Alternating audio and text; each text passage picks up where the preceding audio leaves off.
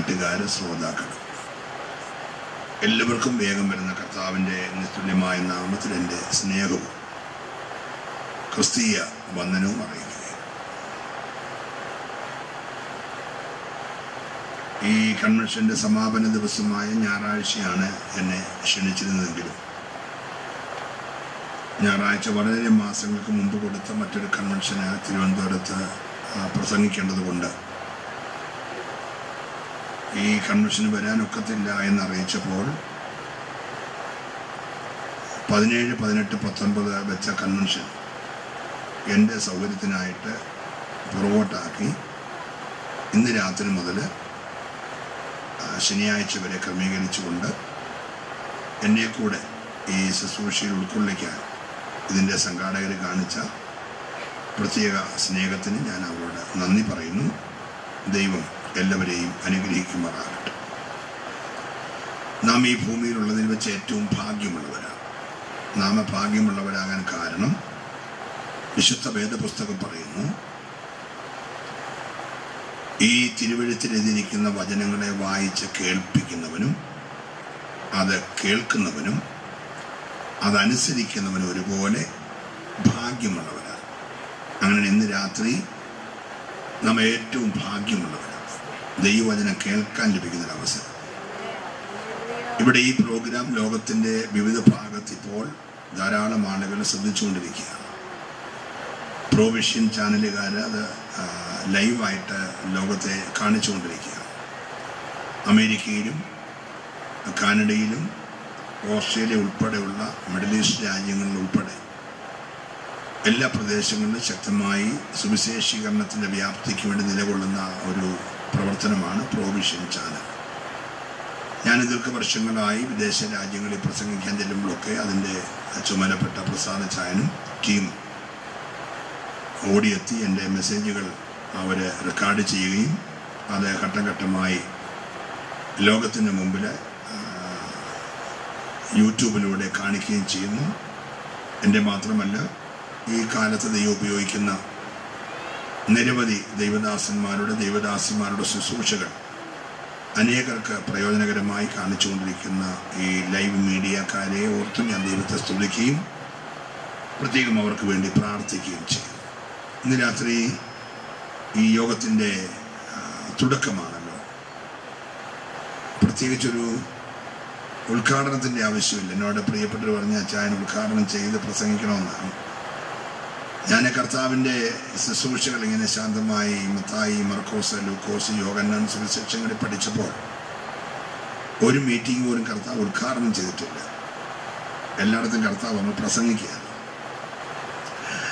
പത്രോസിന്റെ പടക് കണ്ടപ്പോൾ കർത്താവ് പറഞ്ഞു കുഞ്ഞെ നിന്റെ പടകിൽ ഒരു സ്ഥലം എനിക്ക് തരണം.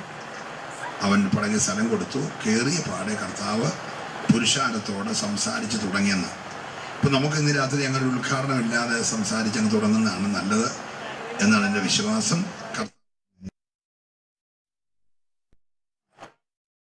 അവസാനവും കർത്താവാണ്. ഇന്ന് രാത്രി കരമുയർത്തി കർത്താവിനെ ശ്രദ്ധിക്കട്ടെ പന്തലിനകത്ത് ഒത്തിരി ആൾ വന്നില്ല എന്ന് വിചാരിച്ചൊന്നും നിങ്ങളെ സംഘാടകർ വിഷമിക്കേണ്ട. യേശു ഇവിടെയുണ്ട് യേശുവിന് ഒത്തിരി ആൾ വേണ്ട. രണ്ടോ മൂന്നോ പേർ.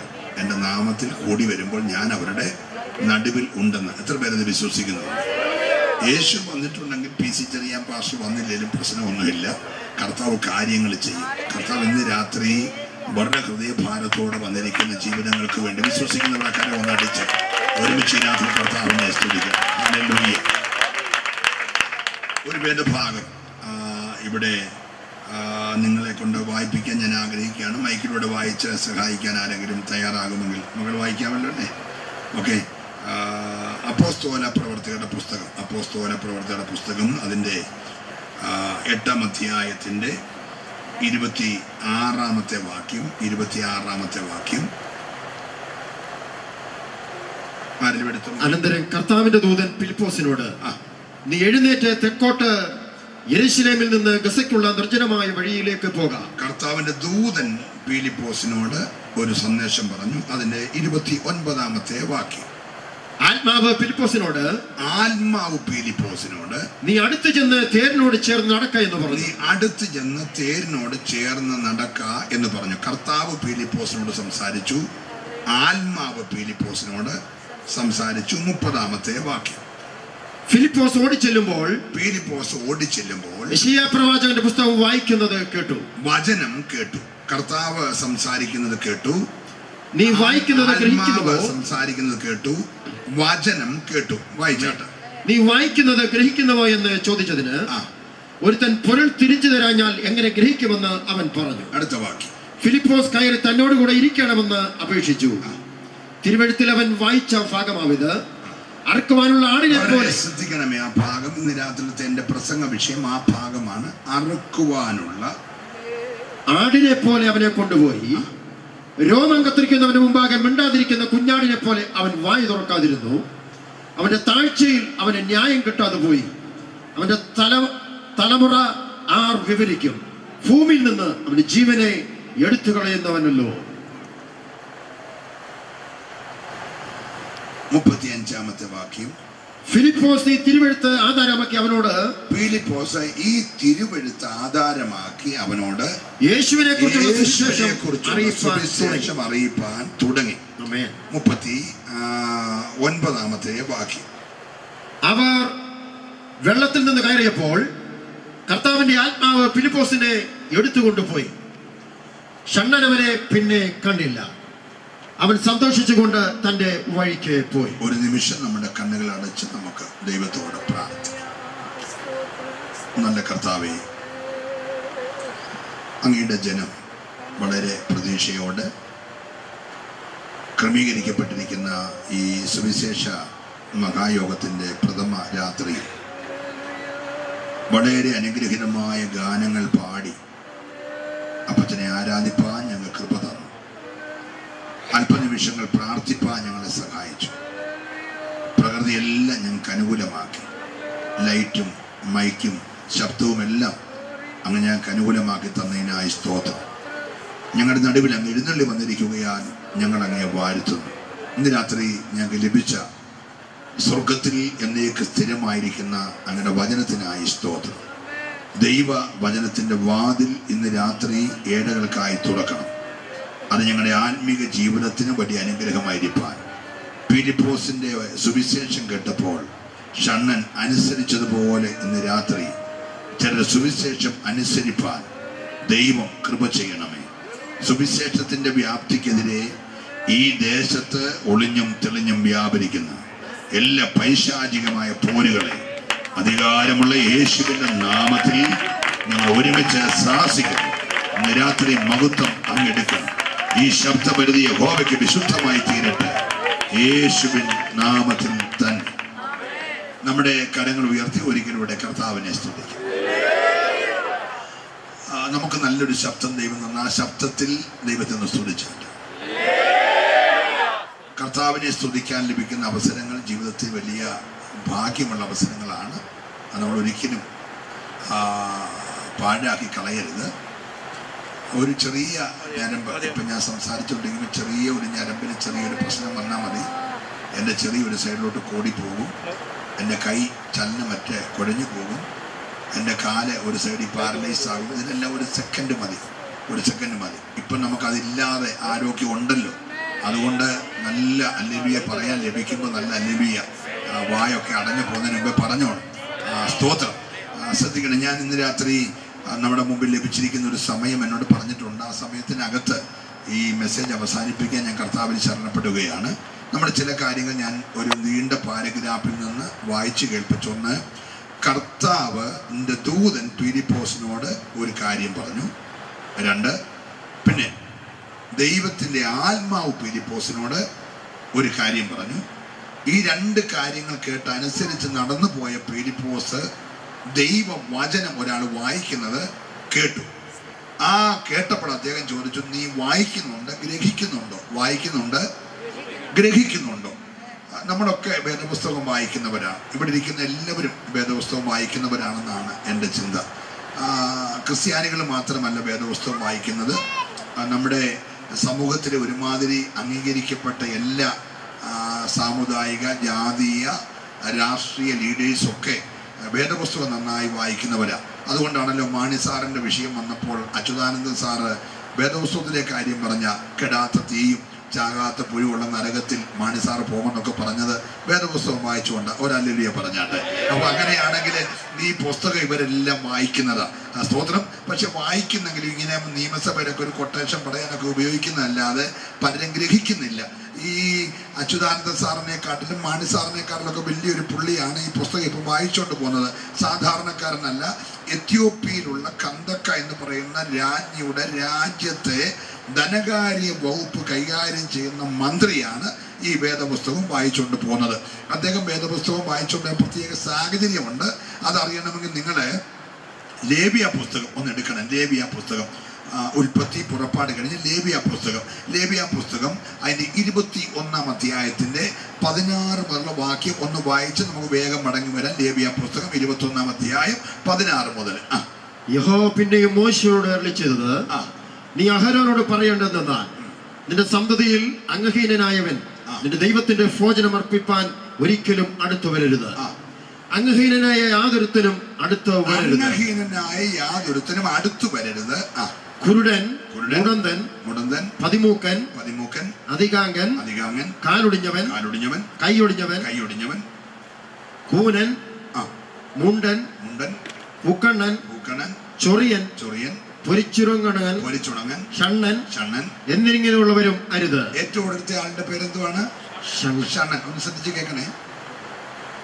നമ്മുടെയൊക്കെ പള്ളിയുടെ വാതക്കൽ കുർബാനക്രമമൊക്കെ എഴുതി വെച്ചിട്ടില്ലേ? ഞായറാഴ്ച രാവിലെ എട്ട് തൊട്ട് ഒൻപത് വരെ കുർബാന ഒമ്പത് തൊട്ട് പതിനൊന്ന് വരെ ആരാധന അത് രണ്ട് തൊട്ട് മൂന്ന് വരെ സൺഡേ സ്കൂൾ എന്നൊക്കെ എഴുതി വെച്ച പോലെ എരിശിലേം ദേവാലയത്തിന്റെ വാതുക്ക ചെല്ലുമ്പോൾ ഒരു വലിയ ബോർഡുണ്ട് ആർക്കകത്ത് കയറാം ആർക്കകത്ത് കയറാൻ ഒക്കത്തില്ല. അങ്ങനെയുള്ള ആ വലിയ ബോർഡിൽ മോളിൽ നിന്നൊരു നീണ്ട പട്ടിക എഴുതിയിട്ട് ഏറ്റവും താഴെ എഴുതിയേക്കുന്ന ആളുടെ പേരെന്താണ്? ഷണൻ ഒന്ന് ശ്രദ്ധിക്കണം അപ്പോൾ ഈ മനുഷ്യനെ ഏകദേശം ഏകദേശം. രണ്ടായിരത്തിലധികം മൈൽ അകലെ നിന്ന് വരികയാണ്.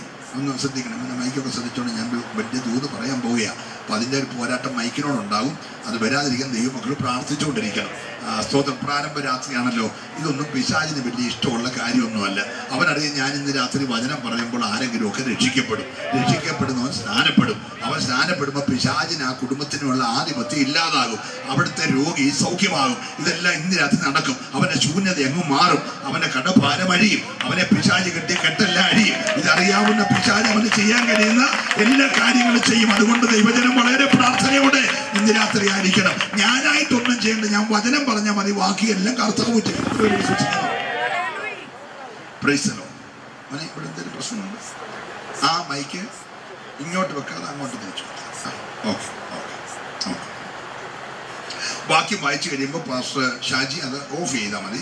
പിന്നെ ബാക്കി ഓൺ ചെയ്താൽ മതി. ഓക്കെ ഓക്കെ മോനൊന്ന് കൺട്രോൾ ചെയ്താൽ മതി. മോൻ നല്ലൊരു മോനാണ്. എനിക്ക് ഇഷ്ടപ്പെട്ടു. ഓക്കെ ഓക്കെ കൈ ഉയർത്തി ഒരു അല്ലെ പറഞ്ഞു. സ്തോത്രം. ശ്രദ്ധിക്കണേ. വളരെ ഗൗരവത്തോടെ ശ്രദ്ധിക്കേണ്ടേ. അപ്പോൾ ഏകദേശം രണ്ടായിരം മൈൽ അകലെ ഇദ്ദേഹം വരുന്ന ആഫ്രിക്കയിൽ നിന്നാണ്. ആഫ്രിക്കയിൽ നിന്നാണ്. ആഫ്രിക്ക എന്ന ഇരുണ്ട ഭൂഖണ്ഡത്തിൽ നിന്ന് ആഫ്രിക്ക യൂറോപ്പിന്റെ ഒരു ഭാഗം കട്ട് ചെയ്ത് അദ്ദേഹം ഇനി മിഡിൽ ഈസ്റ്റിന്റെ നടുക്ക് ഭൂമിയുടെ മധ്യഭാഗത്തുള്ള എരിശിലേമിൽ ആരാധനയ്ക്ക് വന്നിരിക്കുക. ഇന്നത്തെ കൂട്ടം ഫ്ലൈറ്റ് ഇല്ല കപ്പലില്ല. മറ്റ് യാതൊരു സമയം കാറ്റ് കാറ്റുകൊണ്ട് ഓടുന്ന കപ്പലുകൾ മാത്രമുള്ള കാലം. ഇന്നേക്ക് രണ്ടായിരം വർഷങ്ങൾക്ക് പുറകിൽ ഒരു സ്വന്തം പറഞ്ഞാട്ട്. അങ്ങനെയുള്ള സാഹചര്യത്തിൽ പോലും ആരാധിക്കാൻ ഒരു മനുഷ്യൻ രണ്ടായിരം മൈൽ നട കടന്നു വന്നല്ലോ. നമുക്കിന്ന് രാത്രി ഈ കല്ലിങ്കൽ ഈ പൊടിയാടിയിലൊക്കെ ആ സ്തോത്രം പുളിക്കിയിലൊക്കെ ഇഷ്ടം പോലെ ആളുണ്ട്. അവിടെ എല്ലാം ഫ്ലെക്സാ ഞാൻ അവിടെ എല്ലാം പോയി നോക്കി. ഞാൻ ഈ വഴി തെറ്റി കുറച്ച് മുന്നോട്ട് പോയപ്പോൾ അവിടെ എല്ലാം ഭയങ്കര ഫ്ലെക്സ് ഈ നനച്ച തലയെല്ലാം അവിടെ വെച്ചേക്കുക ഇതെല്ലാം വെച്ചിട്ട് ആൾ വന്നില്ലല്ലോ. പക്ഷെ അതിനിടയ്ക്ക് രണ്ടായിരം മൈൽ അകലെ ഒരു മന്ത്രി വന്നല്ലോ. അപ്പൊ ആരാധിക്കാൻ കൊതിയുള്ളവന് ദൂരം ഒരു വിഷയമല്ല. ഒരല്ലേ പറഞ്ഞേ ദൈവത്തെ അറിയണമെന്ന് കൊതിക്കുന്നവന് ദൂരം വിഷയമല്ല. അവനങ്ങ് ദൂരെ. ഇവൻ ആരാധനയ്ക്കായിട്ട് എത്യോപ്യ രാജ്ഞിയുടെ അനുവാദം മേടിച്ചോണ്ട് ദീർഘ ദിവസത്തെ ലീവ് എടുത്ത് ഈ ഒരു കുതിരവണ്ടിപ്പുറത്ത് കയറി വന്നേക്കുകയാണ്. അദ്ദേഹത്തിന്റെ കൂടെ വാഹനം ഓടിക്കുന്ന ആളുണ്ട്. വാഹനം നിർത്താനായിട്ട് വെള്ളം ഉള്ളിടത്ത് വന്നപ്പോൾ പറഞ്ഞു എന്ന് പറഞ്ഞാൽ ഓടിക്കുന്ന ആളുണ്ടല്ലോ. അപ്പൊ ഡ്രൈവറൊക്കെ ആയിട്ടാണ് വന്നേക്കുന്നത് ശ്രദ്ധിച്ചേ അങ്ങനെ വന്നേക്കുന്ന ഈ ആ വാഹനത്തെ ഇത്രയും ദൂരം ഇങ്ങോട്ട് വരുമ്പോൾ കുടിക്കാനുള്ള വെള്ളം കഴിക്കാനുള്ള ആഹാരം അങ്ങോട്ട് പോകുമ്പോൾ കുടിക്കാനുള്ള പറഞ്ഞ് ഈ മനുഷ്യൻ ദീർഘദൂരം യാത്ര ചെയ്ത് ആലയത്തിന്റെ വാതിക്ക് വന്നപ്പോ സെക്യൂരിറ്റി കരികൾ കുന്തം കൊണ്ട് റോഡ് ഇങ്ങനെ പറഞ്ഞു രണ്ട് സൈഡ് രണ്ട് സെക്യൂരിറ്റിയുടെ കയ്യിൽ ഓരോ കുന്തമുണ്ട് ആ കുന്തം നേരെ ക്രൂശ് പോലെ അങ്ങ് പിടിച്ചു. അപ്പൊ ചോദിച്ചെന്നെ വായിക്കാൻ പറഞ്ഞു. അപ്പോൾ പുള്ളി ബോർഡ് ശ്രദ്ധിച്ച്. ബോർഡ് വായിച്ചു. ആദ്യമൊക്കെ വായിച്ചപ്പോൾ അതിനകത്തൊന്നും പുള്ളിക്ക് കുഴപ്പമില്ല. ചൊറിയനെ പൊരിഞ്ചുണങ്ങനെ ആ സ്തോത്രം പൂക്കറിനൊന്നും പ്രശ്നമില്ല. പക്ഷെ താഴെ ഏറ്റവും ഒടിവ് വായിച്ചപ്പോൾ പുള്ളിയുടെ പേര് കിടക്കുന്നു. എന്താ? ഷണ്ണൻ. പുള്ളി ആ വണ്ടി നേരെ തിരിച്ചു. തിരിച്ചപ്പോൾ നമ്മുടെ ഇവിടുത്തെ ആ പരിമലയിലൊക്കെ പോകുമ്പോൾ പുസ്തക സ്റ്റാളുണ്ടല്ലോ ബുക്ക് സ്റ്റാളുണ്ട് കുമ്പനാടൊക്കെ ചെല്ലുമ്പോൾ അതുപോലെയുള്ള ബുക്ക് സ്റ്റാളുണ്ട്. ഇന്നത്തെ കൂട്ടുള്ള ഇത്തിരി ആ ചെറിയ വേദപുസ്തകമൊന്നും അല്ല കേട്ടോ നിങ്ങൾ ശ്രദ്ധിക്കണം. അന്നത്തെ യശയാ പ്രവചനം എന്ന് പറയുന്ന അറുപത്തിയാറ് അധ്യായമുള്ള ഒരു പുസ്തകം തന്നെ അറുപത്തിയാറ് മൃഗത്തിന്റെ അറുപത്തി ആറ് തോലൽ എഴുതിയേക്കുക ഇപ്പൊ ഈ സാധനം ഒരു കെട്ടുണ്ട്. ഒരു സൂത്രം പറഞ്ഞു. അങ്ങനത്തെ പുസ്തകങ്ങൾ ഇന്നത്തെ കൂട്ടുള്ള ഈ പേപ്പറൊക്കെ കണ്ടുപിടിക്കുന്നതിന് മുമ്പാണ് അതിന് സ്തോത്രം. അന്ന് തോൽ ചുരുളുകളിലാണ് പുസ്തകം എഴുതുന്നത്. അങ്ങനെ തോൽ ചുരുളുള്ള വലിയ പുസ്തകം കാശുള്ളവനെ മേടിക്കാനൊക്കെ ധനകാര്യ വകുപ്പൊക്കെ കൈകാര്യം ചെയ്തവരെ ഇത് മേടിക്കാനൊക്കെ സാധാരണക്കാരന് മേടിക്കാനൊക്കത്തില്ല അദ്ദേഹം ഓർത്ത് ആരാധിക്കാൻ വന്ന് ആരാധിക്കാനോ കഴിഞ്ഞില്ല. എന്നാ പിന്നെ പുസ്തകമേലും മേടിച്ച് വായിക്കാമല്ലോ എന്ന് കരുതി അദ്ദേഹം അന്നത്തെ ഏറ്റവും പ്രബലമായ പ്രവചന ദൂതുള്ള യശ്രിയ പ്രവചനം ചോദിച്ച വിലക്ക് മേടിച്ചു. മേടിച്ച് താൻ തന്റെ വാഹനത്തിൽ കയറുന്നുകൊണ്ട് ഒന്ന് രണ്ട് മൂന്ന് അധ്യായം ഇങ്ങനെ വായിച്ചു വായിച്ചു പോവുകയാണ്. ആകാശമേ കേൾക്ക ഭൂമിയെ ചെവി- തരിക എന്നുള്ള ഭാഗമൊക്കെ വായിച്ചു പോയി അൻപത്തി മൂന്നാം അധ്യായത്തിൽ വരുമ്പോൾ ദൈവം ഇവനെ കണ്ടൊരു സ്വോത്രം പറയണം. നല്ലൊരു അല്ലലിയും പറയണം. ഇവൻ ഇത്രയും രണ്ടായിരം മൈൽ നടന്നു വന്നിട്ട് മടങ്ങിപ്പോകുന്നത് മഹാപുരോഹിതൻ കണ്ടില്ല. കയ്യപ്പാവ് കണ്ടില്ല കന്യാവ് കണ്ടില്ല അല്ലെ ലേവ്യന്മാര് കണ്ടില്ല പുരോഹിത ശ്രേഷ്ഠന്മാര് കണ്ടില്ല പള്ളിപ്രമാണി കണ്ടില്ല. സ്തോത്രം. ആരും കണ്ടില്ല. വാതുക്കലെ സെക്യൂരിറ്റി മാത്രമേ കണ്ടുള്ളൂ. ഞാനിപ്പോ രാ വൈറ്റ് ഇങ്ങോട്ട് വരാൻ വേണ്ടി വളരെ വേഗത്തിൽ ഞങ്ങളുടെ റാന്നിന്ന് ആ പൂവമ്പല കഴിഞ്ഞ് നേരെ തീയാടിക്ക് വന്നപ്പോ രണ്ട് സെക്യൂരിറ്റി വഴി നടന്നു. അമ്മാര് വീപ്പ് വെച്ച് വഴി അടച്ചേക്കും. ഞാൻ പറഞ്ഞു എനിക്ക് അത്യാവശ്യം ഇതുവഴി പോകണ്ടേ. ഇതിനെ പറഞ്ഞ് അതുവഴി പോകാൻ പറഞ്ഞു.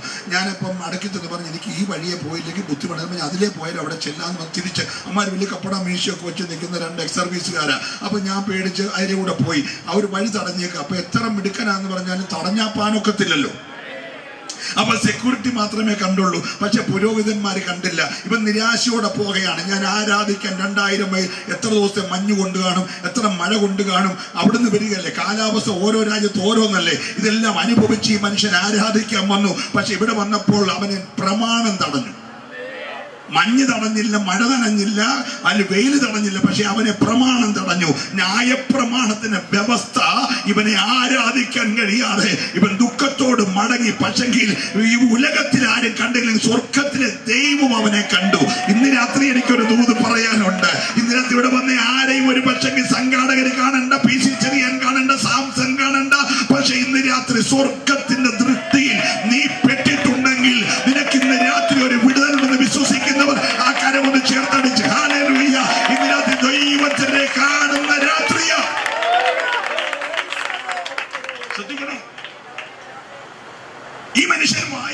സമയത്ത് ദൈവം ഇവനെ കണ്ടിട്ട് അങ്ങ് അകലെ ശമരയിൽ ദൈവത്തിന്റെ വചനം പറഞ്ഞുകൊണ്ട് നിൽക്കുക. പീലിപ്പോസ്.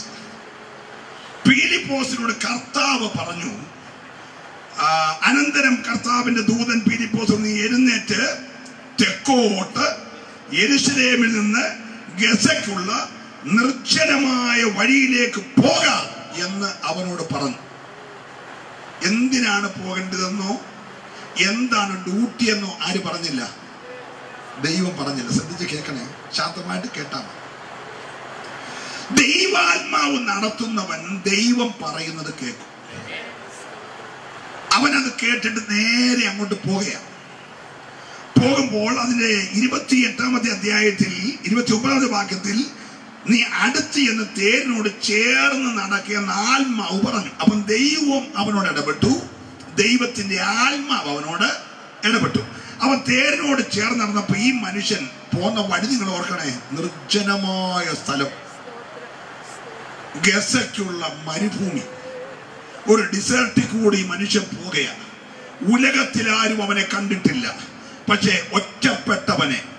ആരാധിക്കാൻ അർഹതയില്ല എന്ന കാരണം പറഞ്ഞ് ആരാധിക്കാൻ കഴിയാതെ നിരാശപ്പെട്ടു പോകുന്നവനെ സ്വർഗത്തിലെ ദൈവം കണ്ടു. ഇന്ന് രാത്രി ഞാൻ ദൈവത്തിന്റെ ആത്മാവ് ചിലരോടൊക്കെ ഇടപെട്ടുകൊണ്ടിരിക്കുക. ചില സാഹചര്യങ്ങൾ കൊണ്ട് ആരാധിക്കാൻ കൊതിയുണ്ടെങ്കിലും ആരാധിക്കാൻ കഴിയുന്നില്ല. എന്നെ അച്ചായ ആരാധിക്കാത്ത അവൾ സമ്മതിക്കത്തില്ല. അല്ലെങ്കിൽ അമ്മാമ്മ എന്നെ ആരാധിക്കാത്ത അച്ചായ സമ്മതിക്കത്തില്ല. രണ്ടുപേരും എന്നെ ആരാധിക്കാത്ത വെല്ലിപ്പച്ച സമ്മതിക്കത്തില്ല. ഞങ്ങളൊക്കെ അങ്ങ് അവിടുന്ന് വന്ന പഴയ തറവാടുകാരാ. ഞങ്ങൾ ഇങ്ങനത്തെ ആരാധനയ്ക്കൊന്നും താല്പര്യമുള്ളവരല്ല. ഞങ്ങൾ പാരമ്പര്യമുള്ളവരാ എന്നൊക്കെ പറഞ്ഞ് പല സാഹചര്യങ്ങൾ പലരെയും ആരാധിക്കാൻ കൊതിയുണ്ടെങ്കിലും നിയമത്തിന്റെ പേരിൽ ഒറ്റപ്പെടുത്തി ആരാധിക്കാൻ കഴിയാതെ ഹൃദയം നീറിയിരിക്കുമ്പോൾ സ്വർഗത്തിലെ ദൈവം അവനെ കണ്ടിട്ട് ആത്മാവുള്ള ഒരുത്തനെ അവന്റെ അടുക്കലേ അയച്ചെങ്കിൽ ഇന്ന് രാത്രി ഞാൻ വിശ്വസിക്കുന്നു. പത്തൊമ്പത് വരെ പോകേണ്ട യോഗം പതിനാറിലോട്ട് വെച്ചതിന്റെ പുറകിൽ ഇന്ന് രാത്രി പീഡിപ്പോസിനെ ദൈവം അയച്ചതുപോലെ ദൈവത്തിന് പദ്ധതി ദേശത്തോടുണ്ട് എന്ന് വിശ്വസിക്കുന്നവരുണ്ടെങ്കിൽ കരമടിച്ച് അവർ ദൈവത്തെ സ്തുതിക്കട്ടെ. ദൈവത്തിനൊരു പദ്ധതിയുണ്ട്.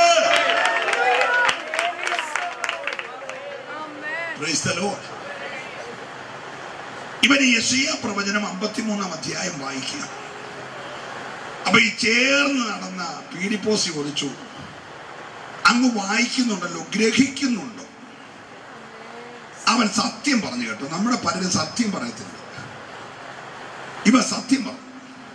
അവൻ പറഞ്ഞു ഇത് ആത്മാവിൽ എഴുതിയ പുസ്തകമായതുകൊണ്ട് ആത്മാവുള്ള ഒരാൾക്ക് പൊരുൾ തിരിക്കാൻ കഴിയത്തു. അതുകൊണ്ട് ഒരാൾ പൊരുൾ തിരിച്ചു തന്നില്ലെങ്കിൽ ഞങ്ങൾ എങ്ങനെ ഗ്രഹിക്കാൻ? അപ്പോൾ ഇവൻ പറഞ്ഞു ആട്ടെ ഞാൻ പൊരുൾ തിരിച്ചു തരാം. കയറി തേരെ ഇരിക്കാൻ പറഞ്ഞു തേരെ കയറിയിരുന്ന ഇവൻ കേട്ട ഭാഗമാണ് ഇവിടെ വായിച്ച നമ്മുടെ വാക്യം. അറുക്കുവാനുള്ള ആടിനെ പോലെ അവനെ കൊണ്ടുപോയി. രോമം കത്രിക്കുന്നവരുടെ മുമ്പിൽ മിണ്ടാതിരിക്കുന്ന കുഞ്ഞാടിനെ പോലെ അവൻ വായെ തുറക്കാതെ ഇരുന്നു. അവന്റെ താഴ്ചയിൽ അവന് ന്യായം കിട്ടാതെ പോയി. അവന്റെ തലമുറയെ ആർ വിവരിക്കും? ഭൂമിയിൽ നിന്ന് അവന്റെ ജീവനെ എടുത്തു കളയുന്നുവല്ലോ. പ്രവചനം അമ്പത്തിമൂന്നാം അധ്യായം യേശു ക്രിസ്തു ജനിക്കുന്നതിന് ആറ് നൂറ്റാണ്ടുകൾക്ക് പുറകിൽ. പ്രവാചകനായ യഷിയാവ് തന്നെ പ്രാർത്ഥനാ മുറിയിലിരിക്കുമ്പോൾ ദൈവം വെളിപ്പെടുത്തിയ ഭാഗങ്ങളാണ്. യേശു ക്രിസ്തുവിന്റെ ജനനത്തെ കുറിച്ച് ആദ്യമായി പ്രവചിച്ച മെയിൻ പ്രവാചകൻ യഷിയാവാണ് താൻ പറഞ്ഞു കന്യക ഗർഭിണിയായി ഒരു മകനെ പ്രസവിക്കും. അവന് ദൈവം നമ്മോട് കൂടെ എന്ന് അർത്ഥമുള്ള ഇമ്മാനുവേൽ എന്ന് വിളിക്കപ്പെടും. അവൻ ലോകത്തിൽ മനുഷ്യന്റെ പാപത്തിൽ നിന്ന് അവനെ രക്ഷിക്കാനുള്ളവനാകയാൽ നീ അവന് യേശു എന്ന് പേരിടണമെന്ന് മറിയോട് പറയുമ്പോൾ ഈ വചനം ആറ് നൂറ്റാണ്ട് പുറകിൽ യക്ഷയാവിന് വെളിപ്പെട്ടു. ഒരു സ്വത്രം പറഞ്ഞാട്ടെ. സ്നേഹിതരെ ലോകത്തിലെ ഏറ്റവും വലിയ പ്രശ്നം പോരാ. ഏറ്റവും വലിയ രോഗം പാപമാണ്. കാൻസർ ഒരു വീട്ടിൽ എല്ലാവർക്കും വരത്തില്ല. ട്യൂമർ ഒരു വീട്ടിൽ എല്ലാവർക്കും വരത്തില്ല. മഞ്ഞപ്പിത്തം എല്ലാവർക്കും വരത്തില്ല. ലിവർ സിറോസിസ് എല്ലാവർക്കും വരത്തില്ല. കിഡ്നി ട്രബിൾ എല്ലാവർക്കും വരത്തില്ല. ഹാർട്ടിന്റെ വാൽവിന്റെ ബ്ലോക്കും ഹാർട്ട് അറ്റാക്കും എല്ലാവർക്കും വരത്തില്ല. വൈറൽ ഫീവറും നിവയും എല്ലാവർക്കും വരത്തില്ല. ഒരു സ്വത്രം പറയണം. എന്ന് വിചാരിച്ച് ഇത് വരാത്തവരില്ല വരുന്നുണ്ട്. ഏത് രോഗത്തിനും മരുന്നുണ്ട് നിപയ്ക്ക് വരെ. സ്തോത്രം. കാൻസർ ആണെങ്കിൽ ഹീമോ ഉണ്ട് ഏക്കുന്നില്ലെങ്കിൽ റേഡിയേഷൻ ഉണ്ട്. ഇത് രണ്ടു ഒത്തില്ല പുതിയ മരുന്ന് കണ്ടുപിടിച്ചിട്ടുണ്ട് രണ്ടാഴ്ചക്കകം വരും. ക്രൈസ്തലോ പക്ഷേ ലോകത്തിലെ ഏറ്റവും വലിയ രോഗം എന്ന് പറയുന്നത് ഒരു കുഞ്ഞ് ജനിക്കുന്നതിന് വേണ്ടി. ഒരപ്പന്റെ അമ്മയുടെ ഇഷ്ടപ്രകാരം രണ്ട് ബീജങ്ങൾ ഒരു സ്ത്രീയുടെ ഗർഭപാത്രത്തിനകത്ത് ഒരു കൊച്ചു മുട്ടുപോലെ അങ്ങോട്ട് ഉണ്ടാകുന്ന അന്ന് രാത്രിയിൽ പാപമെന്ന രോഗവും ആ ജീവന്റെ മേൽ വരികയാണ്. അതുകൊണ്ടാണ് ദാവീദ് പറഞ്ഞ എന്റെ അമ്മ പാപത്തിൽ എന്നെ ഗർഭം ധരിച്ചു. പ്രാർത്ഥിച്ചുകൊണ്ടിരിക്കണേ. പാപമെന്ന രോഗം ജനിച്ചു കഴിഞ്ഞുണ്ടായതല്ല. പാപമെന്ന രോഗം വളർന്നു കഴിഞ്ഞുണ്ടായതല്ല. പാപം എന്ന രോഗം പാപം ചെയ്തു കഴിഞ്ഞുണ്ടായതല്ല. ഒരു മനുഷ്യൻ അമ്മയുടെ ഉദരത്തിൽ ഉരുവാകുമ്പോഴേ അവൻ പാപത്തിൽ ഉരുവാകുക. അതുകൊണ്ട് ഈ പുസ്തകം പറയുന്നു നീതിമാൻ ആരുമില്ല. ഒരുത്തൻ പോലുമില്ല. എല്ലാവരും പാപം ചെയ്തു. ഫലം ദൈവ തേജസ്സില്ലാത്തവരായി മാറി. ഏക മനുഷ്യനാൽ പാപവും പാപത്താൽ മരണവും ഈ ലോകത്തിൽ പ്രവേശിച്ചു.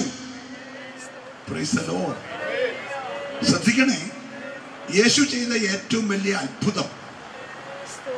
മുപ്പത്തെട്ട് വർഷം കുളക്കര കിടന്നവനോട് എഴുന്നേറ്റ് വീട്ടിൽ പൊക്കോളാൻ പറഞ്ഞതല്ല അത് അത്ഭുതങ്ങളിൽ ഒന്നാണ് യേശു ചെയ്ത ഏറ്റവും വലിയ അത്ഭുതം കല്ലറ കിടന്ന് നാല് ദിവസമായ ലാസറിനോട് ഇറങ്ങി വരാൻ പറഞ്ഞതല്ല. യേശു ഏറ്റവും വലിയ അത്ഭുതം ബലബയുടെ കൊച്ചന്റെ മഞ്ചത്തെ തൊട്ട് അവനെ എഴുന്നേൽപ്പിച്ചല്ല അതെല്ലാം അത്ഭുതങ്ങളുടെ ഗണത്തില.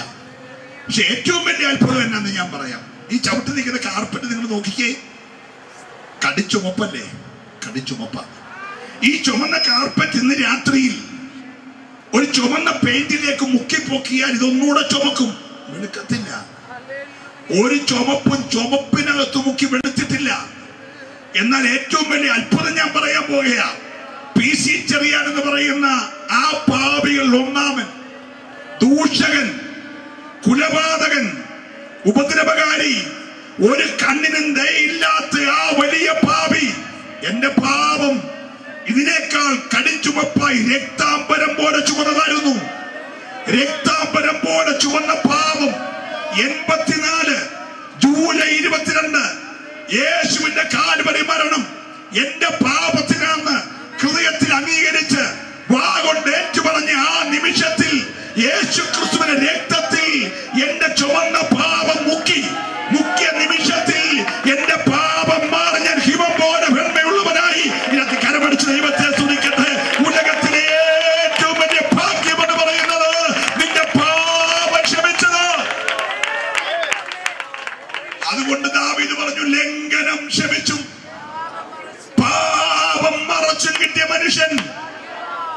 കൈ ഉയർത്തിരല്ലേ പറഞ്ഞു ലോകത്തിലെ ഭാഗ്യ എൻട്രൻസ് പാസ്സായതല്ല.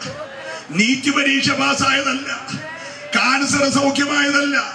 രണ്ടു നില വീട് കിട്ടിയതല്ല. കൊച്ചിൻ അമേരിക്കയെ പാൻ വിസ കിട്ടിയതല്ല. എൻട്രൻസ് പാസ്സായതല്ല. സ്വപ്നം പറഞ്ഞുകൊണ്ടിരിക്കണേ. ഇന്നത് ലോകത്തിലെ ഏറ്റവും വലിയ ഭാഗ്യം ആർക്കും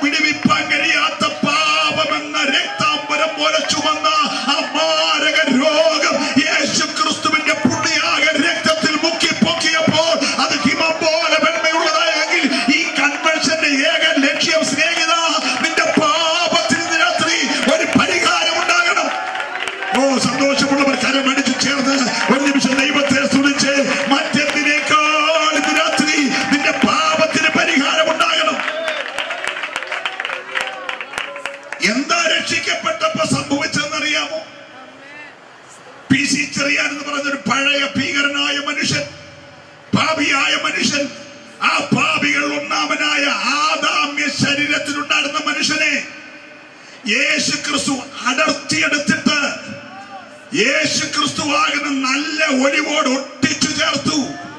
സ്വത്രം പറയണം ഇന്ന് രാത്രി ആഭരണം മൂല്യതല്ല രക്ഷ.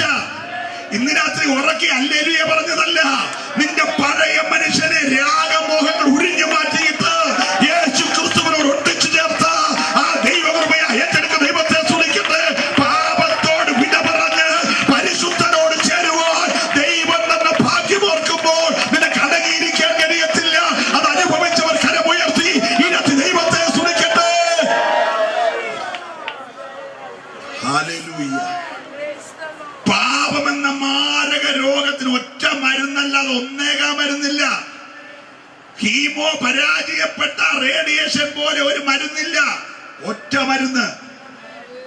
യേശുവിന്റെ രക്തം. ബാക്കി നിങ്ങൾ പറ. സകല പാപവും പോക്കി നമ്മെ ശുദ്ധീകരിക്കുന്ന ഒരു സ്വത്രം പറഞ്ഞേ. രാത്രി ഞാൻ ദൂത് പറയുമ്പോൾ ആ ശുദ്ധീകരണ പ്രക്രിയ ഇവിടെ നടന്നുകൊണ്ടിരിക്കുക. പന്തലിനകത്ത് മാത്രമല്ല ഈ ശബ്ദ പരിധിക്കകത്ത് രാത്രി ആ വലിയ ശുദ്ധീകരണ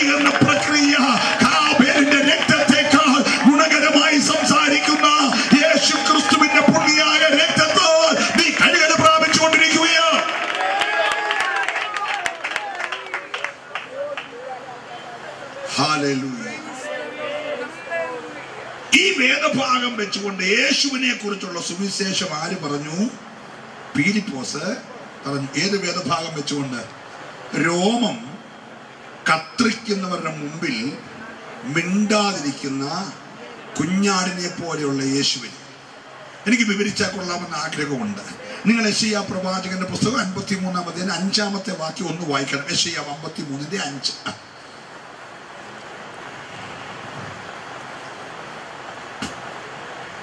വായിച്ച.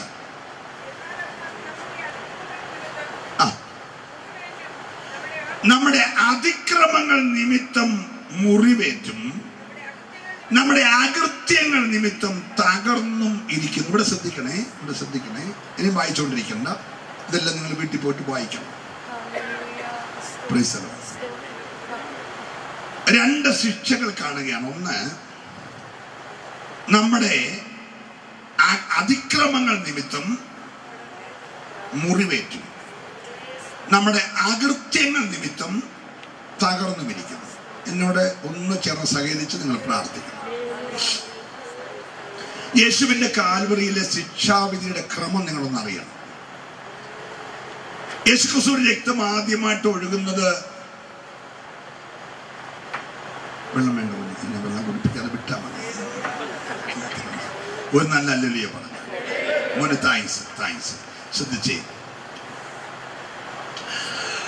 വളരെ ഒരു വിഷയത്തിലേക്ക് വരികയാണ്. നമ്മൾ മറ്റു ശ്രദ്ധയൊന്നും വരരുത്. ഇവിടെ ശ്രദ്ധിക്കുക ഗതസമന എന്ന തോട്ടം. ഗതസമന എന്ന തോട്ടം. നിങ്ങൾ ഒരു മിനിറ്റ് എന്റെ കൂടെ വരണം.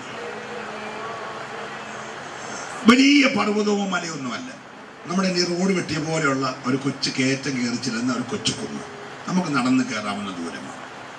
യേശു എന്നും പോയി പ്രാർത്ഥിക്കുന്ന സ്ഥലമായിരുന്നു ഒലുമല യേശു പ്രാർത്ഥിച്ച കാലത്തെ ഒലുമരം ഇപ്പോഴും അവിടെ നിൽപ്പുണ്ട് ആ പ്രാർത്ഥിച്ച ഇടമൊക്കെ ഇപ്പോഴും നമുക്ക് ചെന്ന് കാണാൻ കഴിയും. യേശുവിന്റെ ശിഷ്യന്മാര് പന്ത്രണ്ട് പേരാണ്.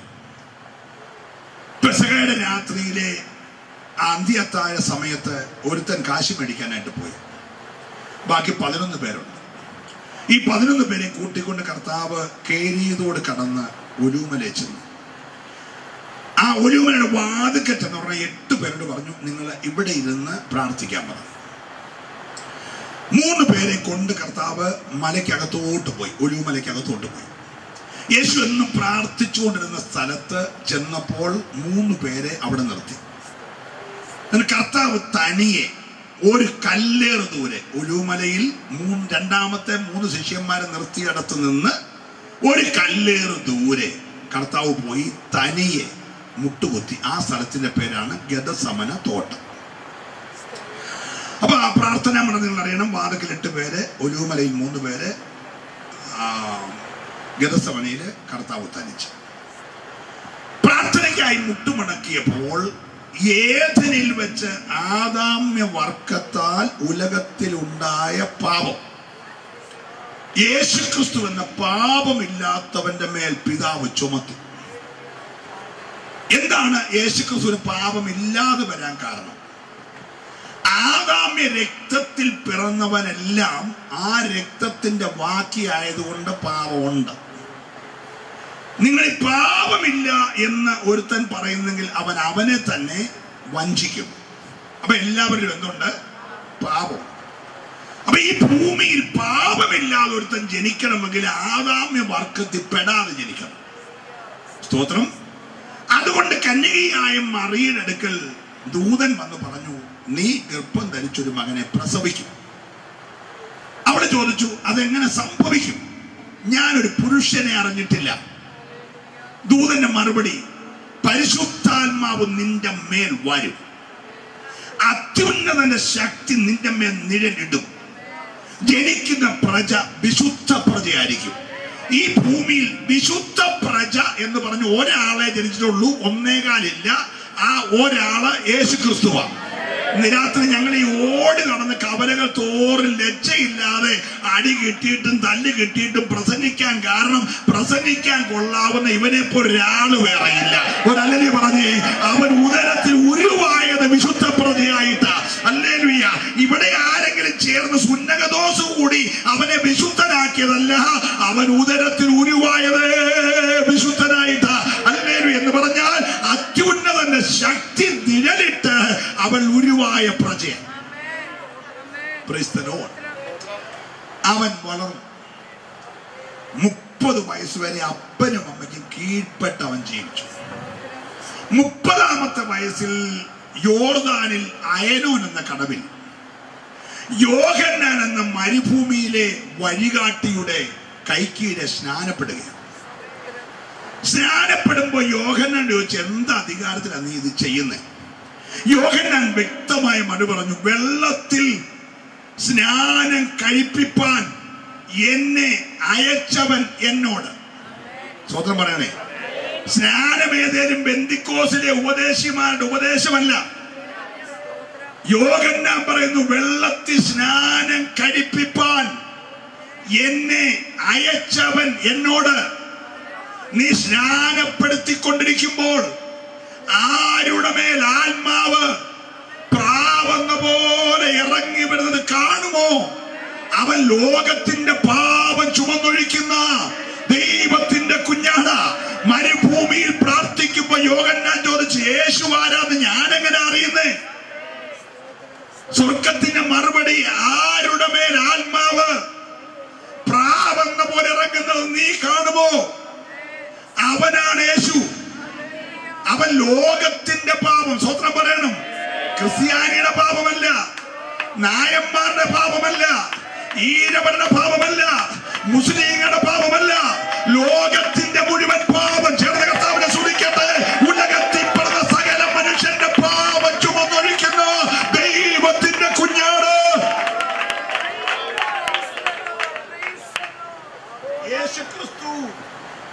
യേശു ക്രിസ്തു കാൽവറിയിൽ മരിക്കണമെന്നുള്ളത് യേശുക്രിസ്തു ജനിച്ചു കഴിഞ്ഞുള്ള ദൈവത്തിന്റെ പദ്ധതിയല്ല.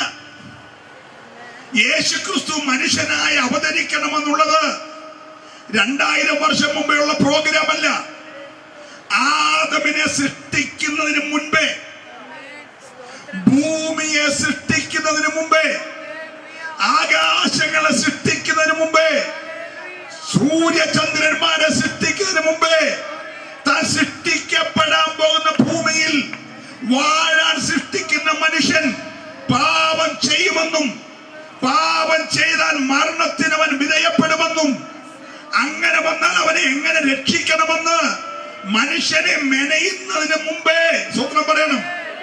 ഒന്നുകൂടെ പറഞ്ഞാൽ ഈ പുസ്തകത്തിന്റെ ഭാഷയിൽ ലോകസ്ഥാപനത്തിനു മുമ്പേ സ്വർഗത്തെ തീരുമാനിച്ചപ്പോൾ എങ്ങനെ പാപപരിഹാരം ഉണ്ടാക്കും? ഉടനെ പുത്രം പറഞ്ഞ പിതാവേ നിന്റെ ഇഷ്ടം ചെയ്യുവാൻ ഞാൻ പ്രിയപ്പെടുന്നു എന്ന് പിതാവിനോട് അങ്ങോട്ട് പറഞ്ഞപ്പോൾ പിതാവ് മാറ്റിക്കെട്ടിയ കുഞ്ഞാട യേശു ക്രിസ്തു സ്വതന്ത്രം പറയണേ ഇന്ന് രാത്രി ലോക മനുഷ്യജാതി പാപം ചെയ്യുന്നതിനൊക്കെ മുമ്പേ പുത്രനെ ദൈവം മാറ്റിക്കെട്ടി ഉണ്ട് ഈ പുസ്തകം പറഞ്ഞ ലോകസ്ഥാപനത്തിന് മുമ്പേ കുരുളറുക്കപ്പെട്ട ദൈവത്തിന്റെ കുഞ്ഞാണ് കരമടിച്ച് ദൈവത്തെ സ്തുതിക്കട്ടെ. ഈ രാത്രി അവൾ എഴുന്നള്ളി വന്നിട്ടുണ്ട്.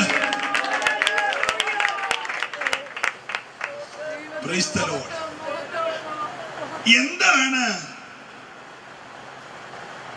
യോർദാനിൽ നടന്നത്? ശ്രദ്ധിച്ചേ. യോഗന്നാന്റെ കൈക്കീഴെ യേശു യോർദാനിലെ വെള്ളത്തിൽ മുങ്ങി പൊങ്ങിയപ്പോൾ സ്വർഗം അവന്റെ മീതെ അങ്ങ് തുറന്നു. പിതാവായ ദൈവം സ്വർഗത്തിൽ പുത്രനായ ദൈവം വെള്ളത്തിൽ പരിശുദ്ധാത്മാവായ ദൈവം ആളത്തമായി പ്രാവെന്ന പോലെ താഴേക്ക് പ്രാവല്ല പ്രാവെന്ന പോലെ. പിതാവും പുത്രനും ആത്മാവും ഉലകത്തിൽ ഒന്നിച്ച് സമ്മേളിച്ച സമ്മേളന വേദിയ സ്നാനക്കടവ്. അങ്ങനെയാണ് സ്നാനം സ്നാനമേറ്റവരൊക്കെ അഭിമാനത്തോടെ അല്ലെ പറഞ്ഞേ ഏക്കാത്തന് വിഷമിക്കേണ്ട വെള്ളമുണ്ട് സ്നാപകനുണ്ട്. അടുത്ത ദിവസം നീ സ്നാനപ്പെട്ടോണം ഇത്ര ശ്രേഷ്ഠമായ മറ്റൊന്നില്ല കേട്ടോ. ഞാൻ വിവരിക്കാൻ ശ്രദ്ധിച്ചു കേൾക്കണേ. സ്നാനപ്പെട്ട് കഴിഞ്ഞപ്പോ സ്വർഗത്തിൽ നിന്ന് ഒരു അശരീരി ഇവൻ എന്റെ പ്രിയപുത്രൻ ഇവരിൽ ഞാൻ പ്രസാദിച്ച് ശ്രദ്ധിച്ചു കേൾക്കണേ. നിങ്ങളുടെ ശ്രദ്ധ ഒട്ടും അങ്ങോട്ട് പോകല്ല. പോയാൽ പിടികിട്ടത്തില്ല. ഇവൻ എന്റെ പ്രിയ എന്ന് പറയാൻ ഒരു കാരണമുണ്ട്. യേശുക്രിസ്തുവിന്റെ പുത്രത്വം അംഗീകരിക്കുന്നതിന് മുമ്പേ ദൈവത്തിന് പുത്രൻ ഉണ്ടായിരുന്നു. എവിടെ? ലൂക്കോസ് മൂന്ന് മുപ്പത്തിയെട്ട്. ഒന്ന് വായിച്ച് കേൾപ്പിക്കണം. ലൂക്കോസ് മൂന്ന് മുപ്പത്തിയെട്ട്.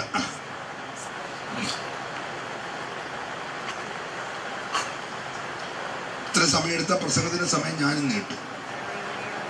വേഗം വായിച്ചു. കൈനാൻ ഏനോശിന്റെ മകൻ. കൈനാൻ മകൻ. ഏനോശ് മകൻ. ഏനോസ് സേത്തിന്റെ മകൻ. ശേത്ത് സേത്ത് ആദാമിന്റെ മകൻ. ആദാം ദൈവത്തിന്റെ മകൻ. ആദാം ദൈവത്തിന്റെ മകൻ. അപ്പൊ ആദ്യത്തെ ദൈവത്തിന്റെ മകൻ ആരാ? ആദാം.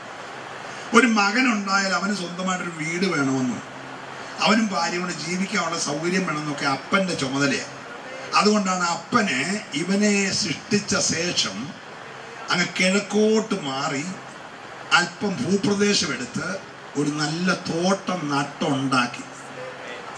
ദൈവത്തിന്റെ ആദ്യത്തെ വീട്. തന്റെ മകനായ ആദവനും അവന്റെ വാര്യലിൽ നിന്നെടുത്ത് ഔവയ്ക്കും താമസിക്കാൻ ഉണ്ടാക്കിയ വീടാണ്. സ്തോത്രം.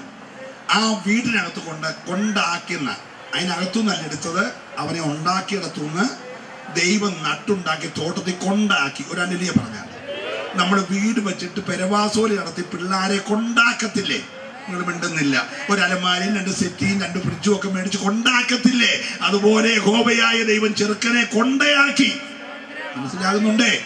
കൊണ്ടയാക്കി പറഞ്ഞു മോനെ ഇതുവരെയുള്ള വേലയൊക്കെ ഞാൻ ചെയ്തതാ. ഞാൻ ആ മരം നട്ടത്. അത് ഫ്രൂട്ട്സ് ആയപ്പോഴാണ് നിന്നെ ഏൽപ്പിച്ചേ. ഹലോ? നീ ഫാക്ടംബോസ് ഒന്നിട്ട് വളമിട്ട് കായാക്കണ്ട. ഞാൻ ഇതെല്ലാം ചെയ്തേക്കുന്നത് നടുക്കൂടെ നല്ല സ്പ്രിങ്കിൾ സിസ്റ്റം ഒരു നദി നാല് ശാഖയായി പിരിഞ്ഞ്. എല്ലാ മരത്തിന്റെയും ചുവട്ട് സ്പ്രിങ്കിളായിട്ട് വെള്ളം വീണുകൊണ്ടിരിക്കുക. അതത് മാസം അതത് തരം ഫലമുളവാക്കുന്ന നല്ലത്. അല്ലയ നീ ഇതിനകത്തൊരു കാര്യം ചെയ്യണം. ഞാൻ ഇത് തോട്ടം വേലി കെട്ടി അടച്ചേക്കുക. സ്തോത്രം. എന്റെ മോനും മോക്കും താമസിക്കാൻ ഉണ്ടാക്കിയത് ഒരു നാട്ടുകാർക്ക് കയറി നിരങ്ങാനുള്ളതല്ല കണ്ണാലിയെ കെട്ടാനുള്ളതല്ല ഞാൻ വേലി കെട്ടി അടച്ചേക്കുക. അല്ലനിയ പറയുന്നില്ല. അല്ലെങ്കിൽ അപ്പൊ അങ്ങനെ തമ്പുരാന്റെ തലമുറയുടെ പ്രൊട്ടക്ഷൻ ആരുടെ കയ്യിലാ? ഉണ്ടെന്നില്ല വേലി കെട്ടി അടച്ചേക്കാം അതല്ലേ പിശാജ് പറഞ്ഞേ? ചുമ്മാതാണോ ഇവൻ നിന്നെ ആരാധിക്കുന്നേ? നീ അവനുള്ളതിനെല്ലാം വേലി കെട്ടിയേക്കാന്ന് പറഞ്ഞില്ലേ? തമ്പുരാൻ ഇവനെ കൊണ്ടയാക്കും മുമ്പേ വേലി. ഇന്ന് രാത്രി നിനക്കും നിനക്കുള്ളതിനെല്ലാം വേലി കെട്ടി സൂക്ഷിക്കുന്ന ഒരു മഹാദൈവം ഇവിടെ ഉണ്ട് വിശ്വസിക്കുന്നവർ കരമരിച്ച് ദൈവത്തെ സ്തുതിക്കട്ടെ. ആരും ഏത് സാഹചര്യത്തിലും നിന്നെ സംരക്ഷിക്കാൻ ഇവൻ മതിയായവനാ. എന്നിട്ട് ഇവരോട് പറഞ്ഞു ഇനിയും നീ ഇതിനകത്ത് ഈ തോട്ടം സൂക്ഷിക്കണം. തോട്ടം സൂക്ഷിക്കണം. രണ്ട് തോട്ടത്തിൽ വേല ചെയ്യണം. ചുമ്മാ കളിപ്പിച്ചിരുന്നത് വേല ചെയ്യണം. റിസലോ. മൂന്ന് ഈ തോട്ടത്തിൽ നടക്കി ഞാൻ രണ്ട് വൃക്ഷം നില ഒന്ന് നന്മ തിന്മ തിരിച്ചറിവ്. രണ്ട് ജീവന്റെ വൃക്ഷം. നന്മ തിന്മ തിരിച്ചറിവ് തിന്നാൽ മരിക്കും. ജീവന്റെ വൃക്ഷം തിന്നാൽ ജീവിക്കും. സ്തോത്രം. ഒരു വ്യവസ്ഥ കൊടുത്താണ് വീട്ടിൽ കൊണ്ടയാക്കി. ഇവൻ വ്യവസ്ഥ തെറ്റിച്ചു ലംഘനം ചെയ്തു അധർമ്മം ചെയ്തു. അകൃത്യം ചെയ്തു. അകൃത്യം ചെയ്യരുതെന്ന് എന്തോ പറഞ്ഞു. അത് ചെയ്തു. അവന്റെ അതിക്രമങ്ങൾ നിമിത്തം പറിക്കൽ എന്ന് പറഞ്ഞ് കേറി പറിച്ചു. അതിക്രമങ്ങൾ നിമിത്തം മുറിവേറ്റു. ശ്രദ്ധിച്ചിരിക്കണേ. അകൃത്യങ്ങൾ നിമിത്തം അവൻ തകർന്നു. ഇനി ശ്രദ്ധിച്ചു കേൾക്കുക. യഹോബയായ ദൈവം വന്ന് കോപിച്ചനായി ഇവിടെ വെച്ച് നീ എവിടാ? അവൻ പറഞ്ഞു നഗ്നനാകയാൽ ബാക്കി പറഞ്ഞു. ബാക്കി നിങ്ങൾ പറഞ്ഞു. നഗ്നനാകയാൽ ഒളിച്ചിരിക്കുക എല്ലാവരും ഇവിടെയാണല്ലോ? അപ്പം ദൈവം ചോദിച്ചു നിന്നോട് ആരാ ഇത് പറഞ്ഞേ? അവൻ തിരിച്ചറിവായി. അവൻ എന്തുവായി?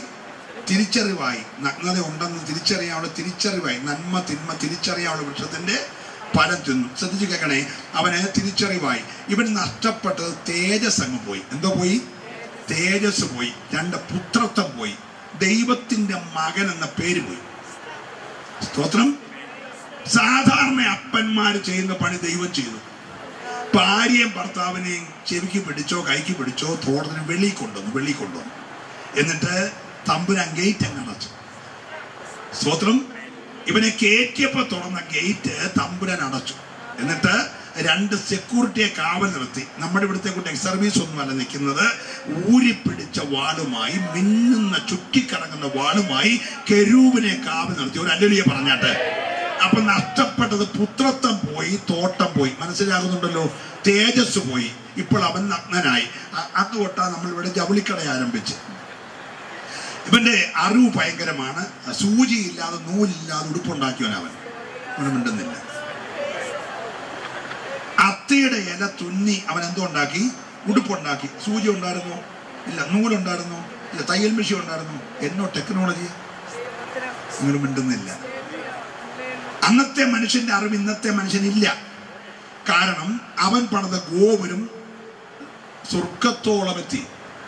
അങ്ങനെ എഴുതിയേക്കുന്നേ നമ്മളിവിടെ ആകെ പണിതേക്കുന്ന ഏറ്റവും വലിയ ഗോപുരം നമ്മുടെ ബുർജ് ഖലീഫയാണ് നമ്മുടെ ഇവിടെ ഉള്ള ദുബൈയിലുള്ള. അത് ഒന്നേകാൽ കിലോമീറ്ററേ ഉള്ളൂ. ഒന്നേകാലില്ല ഒരു കിലോമീറ്റർ കഴിഞ്ഞ് കുറച്ചുകൂടെ ഉള്ളൂ. ഏറ്റവും വലിയത് ഭൂമിയിലുള്ള ഈ പാത. അതിനൊക്കെ പത്ത് ആറായിരം വർഷം മുമ്പ് നിമ്രോത് സ്വർഗത്തോളം എത്തുന്ന പണിത്. പണിതപ്പോ തമ്പുരാൻ പറഞ്ഞു പുത്ര വാ നമുക്കൊന്ന് ഇറങ്ങിച്ചല്ലേ അവന്റെ പണി മേളോട്ട് കയറുവാണല്ലോ നമുക്ക് എത്തറ്റമായി നോക്കാൻ ഇറങ്ങി വന്ന തമ്പുരാൻ നോക്കാൻ ഇറങ്ങി വന്ന പണിയായിരുന്നു. നിങ്ങൾ മിണ്ടുന്നില്ല. അവന് കിട്ടിയ അറിവ് മനസ്സിലായി. ഇന്നത്തെ ക്രെയിൻ ഇല്ല ജെ സി ബി ഇല്ല ടിപ്പർ ലോറി ഇല്ല. ഒന്നുമില്ലാതെ സ്വർഗത്തോളം എത്തുന്ന ഗോപുരം പണിയാനുള്ള ടെക്നോളജി അന്ന് അവൻ ഉണ്ടായിരുന്നു സ്വോത്രം പറയണേ. അല്ലേ ശ്രദ്ധിച്ചേ. അപ്പൊ അങ്ങനെ ഇവന് അറിവുള്ളവനായി മാറി. പക്ഷെ തോട്ടം തേജസ് പോയി ദയുള്ള തമ്പുരാൻ വെളിയിൽ പോകുമ്പോൾ നാട്ടുകാർ എറിയാതിരിക്കാൻ ഒരു ആടിനെ അറന്ന് തോലുണ്ടാക്കി ഉടുപ്പുണ്ടാക്കി കൊടുത്തു. മറ്റേ എല്ലാം വെയിൽ വന്നപ്പോൾ വാടി പോകുന്നായിരുന്നു മനുഷ്യന്റെ കൈവേലെല്ലാം അതിനുള്ളതേ ഉള്ളൂ. സ്തോത്രം. ഞാൻ അവിടെ നിന്ന് നിൽക്കുന്നില്ല. ശ്രദ്ധിച്ചേ. അപ്പൊ പോയത് പുത്രത്വം.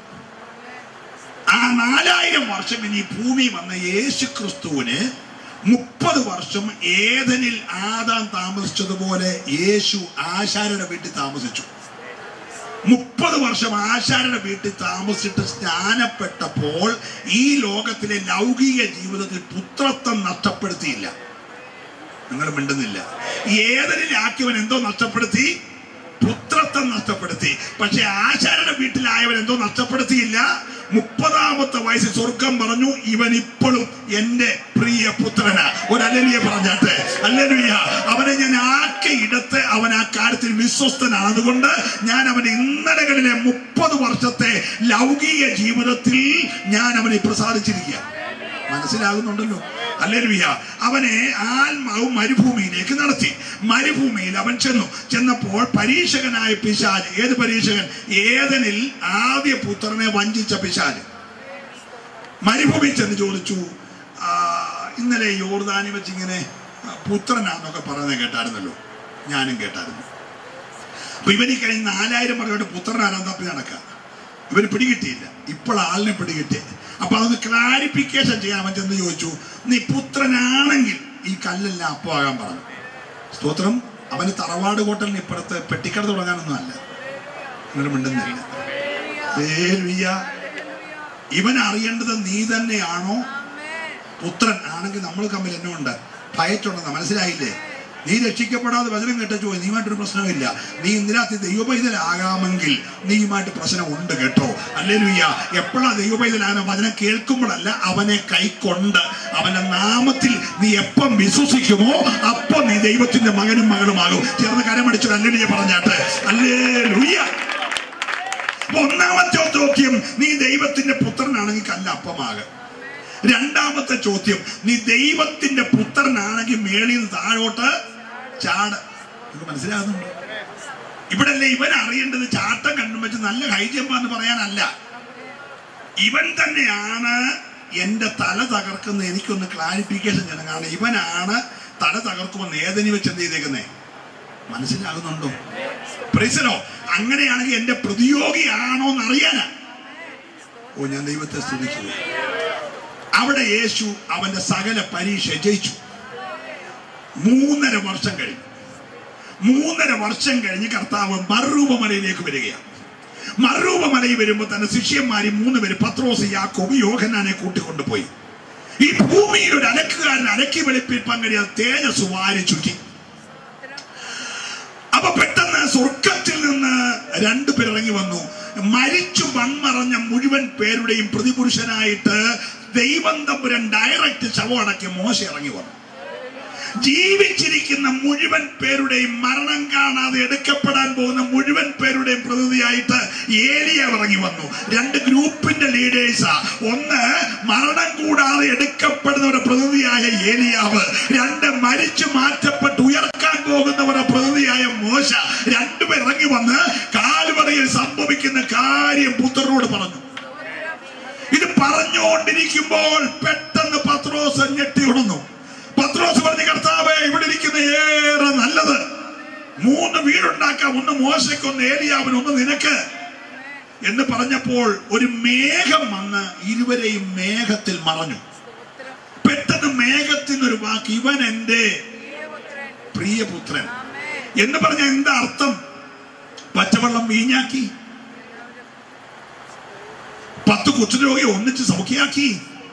ശതാധിപന്റെ മോളെ മോനെ സൗഖ്യമാക്കി ശതാധിപന്റെ ദാസനെ സൗഖ്യമാക്കി ആ നല്ല കാശുള്ള വീട്ടിൽ ഷിമിയോന്റെ വീട്ടിൽ ഉണ്ണാൻ പോയി. പക്ഷെ അവിടെ നിന്നും പുത്രത്വം നഷ്ടപ്പെടുത്തിയില്ല. മൂന്നര വർഷത്തെ ശുശ്രൂഷയിൽ പുത്രത്വം പോയില്ല. സ്വത്രം പറയണം? സ്നാനക്കടവിൽ ചെന്നപ്പോൾ മുപ്പത് വർഷത്തെ ലൗകിക ജീവിതത്തിൽ പുത്രത്വം പോയില്ല. മൂന്നര വർഷത്തെ പരസ്യ ശുശ്രൂഷയിൽ പുത്രത്വം പോയില്ല. യേശു ശിഷ്യന്മാരെ കൊണ്ട് അടുത്ത മലയിൽ കയറി അങ്ങനെ കയറിട്ട് ചോദിച്ചു ഫിലിപ്പിന്റെ കൈസരി എന്ന സ്ഥലത്തോട്ട് യേശു പോയി കാലുകുത്തി നിന്നു. ഫിലിപ്പിന്റെ കൈസരി എന്ന് പറഞ്ഞാൽ ഇന്നലകളിൽ തകർന്ന് തരിപ്പണമായ സ്ഥലമാ. ഈ അലക്സാണ്ടർ എന്ന മകാൻ ജനിക്കുന്നതിന് മുമ്പേ ഈ രാജ്യം അടക്കുവാണ് ഫിലിപ്പ് എന്ന് പറയുന്ന മഹാനായ മഹാരാജാവിന്റെ ഭരണകാലത്ത് അവന്റെ പേര് നിലനിർത്താൻ കൈസരി എന്ന നല്ല തുറമുഖ പട്ടണം അവൻ മനോഹരമായി പണിതിട്ട് നമ്മുടെ ഇന്ദിര ടെർമിനൽ എന്നൊക്കെ എയർപോർട്ടിന് പേരിടുന്നത് പോലെ ഈ സ്ഥലത്തിന് പേരിട്ട് പിടിപ്പിന്റെ കൈശരിയ മനസ്സിലാകുന്നുണ്ടോ? പിലിപ്പ് പണി കഴിപ്പിച്ച രാജ്യത്തിന് എന്നെ പേരിട്ടു? പിടിപ്പിന്റെ കൈസരിയ. പക്ഷെ കൂടെ കൂടെ നമ്മുടെ ജാഗ്രത ഭൂകമ്പം ഉണ്ടാകുന്നത് പോലെ അടുപ്പിച്ചടുപ്പിച്ച് ഭൂകമ്പം ഉണ്ടാകുന്ന ഫിലിപ്പിന്റെ കൈസരിയ ഇടിഞ്ഞ് തകർന്നു. മകൻ അലക്സാണ്ടർ മഹാനായി രാജ്യം വാഴുമ്പോൾ സാമ്രാജ്യം പിടിച്ചെടുത്തപ്പോൾ അപ്പൻ പണിതിട്ട് തകർന്നു പോയി അതേ സ്ഥലത്ത് മകൻ വീണ്ടും പുതുക്കി പണിതു. ഫിലിപ്പിന്റെ കൈസരിയ.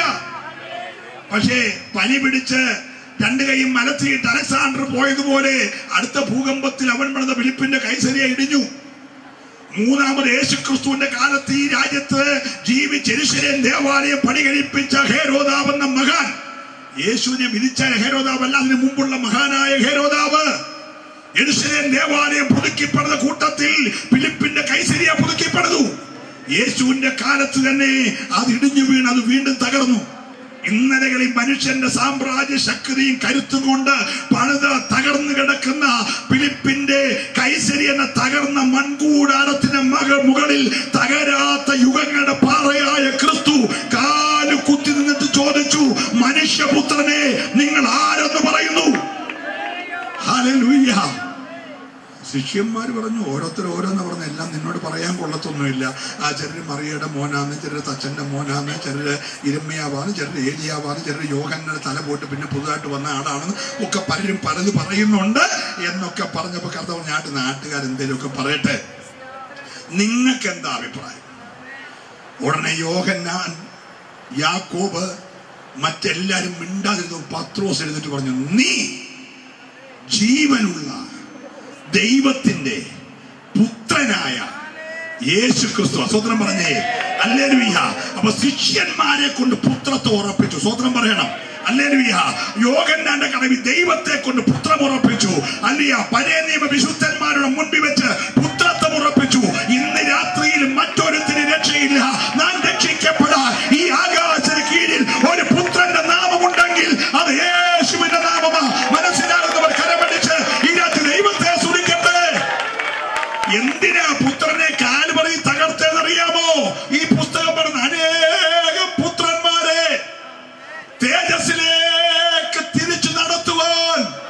നമ്മുടെ രക്ഷാ നായകനെ കഷ്ടാനുഭവങ്ങളാൽ തികഞ്ഞവനാക്കുന്നത് ദൈവത്തിന് യുക്തമായിരുന്നു.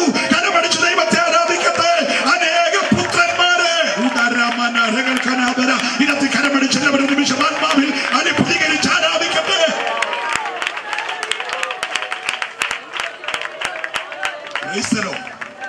അർത്ഥാൽ ഏതൻ തോട്ടത്തിൽ വെച്ച് പുത്രത്വം പോയി തിരികെ പിടിക്കാൻ പാപമില്ലാത്ത പുത്രൻ അതുപോലെയുള്ള ഗതസമന തോട്ടത്തിൽ മുട്ടുകുത്തി. മുട്ടുകുത്തിയപ്പോൾ ഏതൻ തോട്ടത്തിൽ നഷ്ടപ്പെട്ടത് തിരികെ പ്രാപിക്കുന്ന സമയം. നമ്മുടെ പാപം നമ്മുടെ ശാപം നമ്മുടെ രോഗം പാപമില്ലാത്തവന്റെ മേൽ ചുമത്തി. ചുമത്തിയപ്പോൾ അവന്റെ അകത്ത് രക്തധമനികൾ പൊട്ടി. രോമകൂപങ്ങളിൽ കൂടെ വലിയ രക്തത്തുള്ളികൾ വിയർപ്പ് തുള്ളിയായി നിലത്തേക്ക് വീണു. പ്രാർത്ഥന നിവർത്തിച്ചു. അവൻ എഴുന്നേറ്റ് വരുമ്പോൾ പെട്ടെന്ന് രംഗപ്രവേശിച്ചത് യൂത ഓടി വന്ന് കെട്ടിപ്പിടിക്കുന്നു ചുംബിക്കുന്നു. ഈ സമയത്ത് പള്ളിപ്രമാണികളും ന്യായാധിപ സംഘവും ചേർത്തയച്ചിരുന്ന പടക്കൂട്ടങ്ങൾ വന്ന് തീവെട്ടിപ്പന്തങ്ങളും വാളും വടിയുമെല്ലാമായി യേശുവിനെ അറസ്റ്റ് ചെയ്യുന്നു. യേശു രണ്ട് കൈകൾ ചേർത്ത് കെട്ടുന്നു. യേശുവിന്റെ കണ്ണ് ഒരു ശീല കൊണ്ട് പൊടിയുന്നു അവൻ രണ്ട് കർണത്ത് ആഞ്ഞടിക്കുന്നു. അവനെ മുട്ടി ചുരുട്ടി ഇടിക്കുന്നു. മുട്ടി ചുരുട്ടി ഇടിക്കുക എന്ന് പറയുമ്പോൾ നിങ്ങൾ അറിയാതിരിക്കല്ലേ? അന്നത്തെ ഒരു റോമൻ പട്ടാളക്കാരൻ എന്ന് പറഞ്ഞാൽ അവൻ ഒത്ത ഒരു മനുഷ്യനാണ് അവന്റെ മുറ്റി ചുരുട്ടിയുള്ള ഒരു ഇടിക്ക് ഏതാണ്ട് ഇരുപത്തിനാല് കിലോ മുതൽ മുപ്പത്തി രണ്ട് കിലോ വരെ തൂക്കമുണ്ടെന്ന ഒരു ഇടിക്ക്. ഹലോ? പ്രീസലോ നിന്റെ പാപം അവന്റെ മേൽ ചുമത്തിയപ്പോൾ വിധിക്കുന്നതിന് മുമ്പേ വിസ്തരിക്കുന്നതിന് മുമ്പേ പിടിക്കപ്പെട്ടപ്പോൾ മുട്ടി ചുരുട്ടി ഇടിച്ചു ചമ്മട്ടിക്ക് അവനെ അടിച്ചു. ഒരു കൊടിയ കുറ്റവാളിയെ കൊണ്ടുപോകുന്നതുപോലെ ആ രാത്രി ന്യായാധിപ സംഘത്തിന്റെ മുമ്പിൽ മാറി അല്ലെ അടുത്ത ന്യായപ്രമാണത്തിന്റെ പൗരോഹിത്യം വഹിക്കുന്ന കന്നാവിന്റെ മുമ്പിൽ അടുത്ത കയ്യപ്പാവിന്റെ മുമ്പിൽ മൂന്നിടത്തെ വിസ്താരങ്ങളിൽ നേരെ പീലാത്തോസിന്റെ മുമ്പിൽ പീലാത്തോസിന്റെ അടുക്കൽ നിന്ന് ഗലീലക്കാരനാ നിറഞ്ഞിട്ട് ആ നാട് വാഴുന്ന ഹേരോദാവിന്റെ മുമ്പിൽ ഹേരോദാവിന്റെ മുമ്പിൽ നിന്ന് വീണ്ടും പീലാത്തോസിന് മുമ്പിലേക്ക് മാറി മാറി വിസ്തരിക്കാൻ കൊണ്ടുവരുമ്പോൾ നിങ്ങൾ അറിയുക പ്രിയരെ അവനെ ചമ്മട്ടിക്ക് അടിച്ചോണ്ടിരിക്കുക മുട്ടി ചുരുട്ടി ഇടിച്ചോണ്ടിരിക്കുക. ജനത്തിന്റെ ആരാവാരം അധികമായപ്പോൾ യേശു ക്രിസ്തു എന്ന നമ്മുടെ രക്ഷകനെ കാലുപരി ക്രൂശി ക്രൂശിക്കുന്നതിന് പീലാത്തോസ് ഏൽപ്പിച്ചു കൊടുത്തു. ഏൽപ്പിച്ചു കൊടുത്ത കർത്താവിനെ പീലാത്തോസിന് ശിക്ഷ നടപ്പാക്കുന്ന അകത്തെ കൽത്തളം എന്നറിയപ്പെടുന്ന ഗബദായിലേക്ക് കൊണ്ടുപോയിട്ട് അവന്റെ തലയിൽ രണ്ടേ കാൽ ഇഞ്ച് മുതൽ നാലര ഇഞ്ച് വരെ നീളം വെക്കുന്ന വലിയ കാലിനും പാണിയെക്കാട്ടി കൂർത്ത കടുപ്പമുള്ള മുള്ളുള്ള മുൾക്കിരീടം മെടങ്ങ് അവന്റെ തലയിൽ വെച്ചിട്ട് വലിയ കോഴി കൊണ്ട് മുൾക്കിരീടം അടിച്ച് തറച്ചുറപ്പിച്ചു ഉറപ്പിച്ചപ്പോൾ അവന്റെ രക്തം ഒഴുകാൻ തുടങ്ങി. സ്വപ്നം പറഞ്ഞുകൊണ്ടിരിക്കണമേ. അല്ലേലുയ്യ മുഖത്തെ രോമ ഈ മീശയൊക്കെ നിൽക്കുന്ന നമ്മുടെ ചെറിയാച്ചാന്റെ മീശ പറഞ്ഞ കനത്ത മീശയുള്ള അല്ലെ മുഖത്തെ താഴ് ചെറിയലൊക്കെയുള്ള മീശ മീശ കൂട്ടി പറിച്ചപ്പോൾ ചെറി സഹിതം പറഞ്ഞു പോന്നു. നിങ്ങളിവിടെ മൈക്കിളാഞ്ചലോ വരച്ച് കണ്ടേക്കുന്ന യേശു ഒന്നും അല്ല കേട്ടോ ശ്രദ്ധിക്കണേ. അല്ലെ മുഖത്തെ രോമം പെരുത പിഴുതപ്പോൾ നമ്മുടെ ഇവിടുത്തെ കപ്പ ചുവട് കൂട്ടി രണ്ടുപേരും ഒന്ന് കുലുക്കി പറിക്കുമ്പോ തടവുളവാകുന്ന പോലെ യേശുവിന്റെ മുഖത്തെ രോമം കൂട്ടമായി പിഴുതു പറിച്ചപ്പോൾ മുഖത്തെ മാംസം സഹിതം പറഞ്ഞു പോയി ഇത് കണ്ട പ്രവാചകൻ പറഞ്ഞ അവനെ കണ്ടാൽ ആളല്ല എന്ന് തോന്നുമാർ അവൻ വിരൂപനായി. അവന് കോമളത്വമില്ല. അവനെ കണ്ടാൽ ആകർഷിക്കത്തക്ക സൗന്ദര്യമില്ല. ഓ ഞാൻ ദൈവത്തെ സ്തുതിക്കുകയാ. അല്ലേ ശ്രദ്ധിക്കണേ. മനുഷ്യരാൽ അവൻ മുറിവേൽക്കുകയാ. മനുഷ്യരാൽ അവൻ മുറിവേൽക്കുകയാ. മനുഷ്യരാൽ അവൻ നിന്ദിക്കപ്പെടുക. എന്തിന്? ഈ പുസ്തകം പറഞ്ഞ നമ്മുടെ അകൃത്യങ്ങൾ നിമിത്തം അവൻ മുറിവേറ്റു. മനസ്സിലാകുന്നുണ്ടോ? മാട്ടറപ്പ് കടക്കാരൻ വലിയ പുളിങ്കുറ്റി കടക്കകത്ത് വെച്ചിട്ടുണ്ട്. കഴുത്തറുത്ത് മാറ്റി തോലിരിഞ്ഞെടുത്ത ആട്ടിൻകുട്ടിയെ ആ പുളുംകുട്ടിയെ വെച്ച് കിലോ കണക്കിന് പീസ് പീസായി കണ്ണിക്കുന്നത് പോലെ പീലാത്തോസിന്റെ അകത്തെ കൽത്തളത്തിൽ നിൽക്കുന്ന കരിങ്കൽ കുറ്റിമേൽ യേശു എന്ന യുഗങ്ങളുടെ പാറയെ ചേർത്തു കെട്ടിയിട്ട് അവന്റെ വസ്ത്രം അഴിച്ചു മാറ്റിയിട്ട് ചാട്ടവാറുകൊണ്ട് ചൂണ്ടയും കൊളുത്തുകളും നിറഞ്ഞിരിക്കുന്ന ചാട്ടവാറ് വിനാഗിരിയും ഉപ്പും ചേർന്ന ലായനിക്കകത്ത് മുക്കിപ്പൊക്കി റോമൻ പട്ടാളക്കാർ പുറത്തേക്ക് ആഞ്ഞടിച്ചപ്പോൾ ആ ചാട്ടയുടെ അസ്ഥികളും ചൂണ്ടകളും കൊളുത്തുകളും ആ മാംസത്തെ കേറി ഉടക്കി വലിച്ചൂരങ്കടി എന്നപ്പോൾ രണ്ട് പട്ടാളക്കാർ ചേർന്ന ചാട്ട കുലുക്കി പറിച്ചപ്പോൾ നമ്മുടെ കുട്ടനാട്ടിലെ കണ്ടെത്തി കനപ്പ കൊണ്ട് കാളയെ കണ്ടപുഴുമ്പോൾ കണ്ട ഉഴുതു മറിക്കുന്നത് പോലെ യേശു ക്രിസ്തുവിന്റെ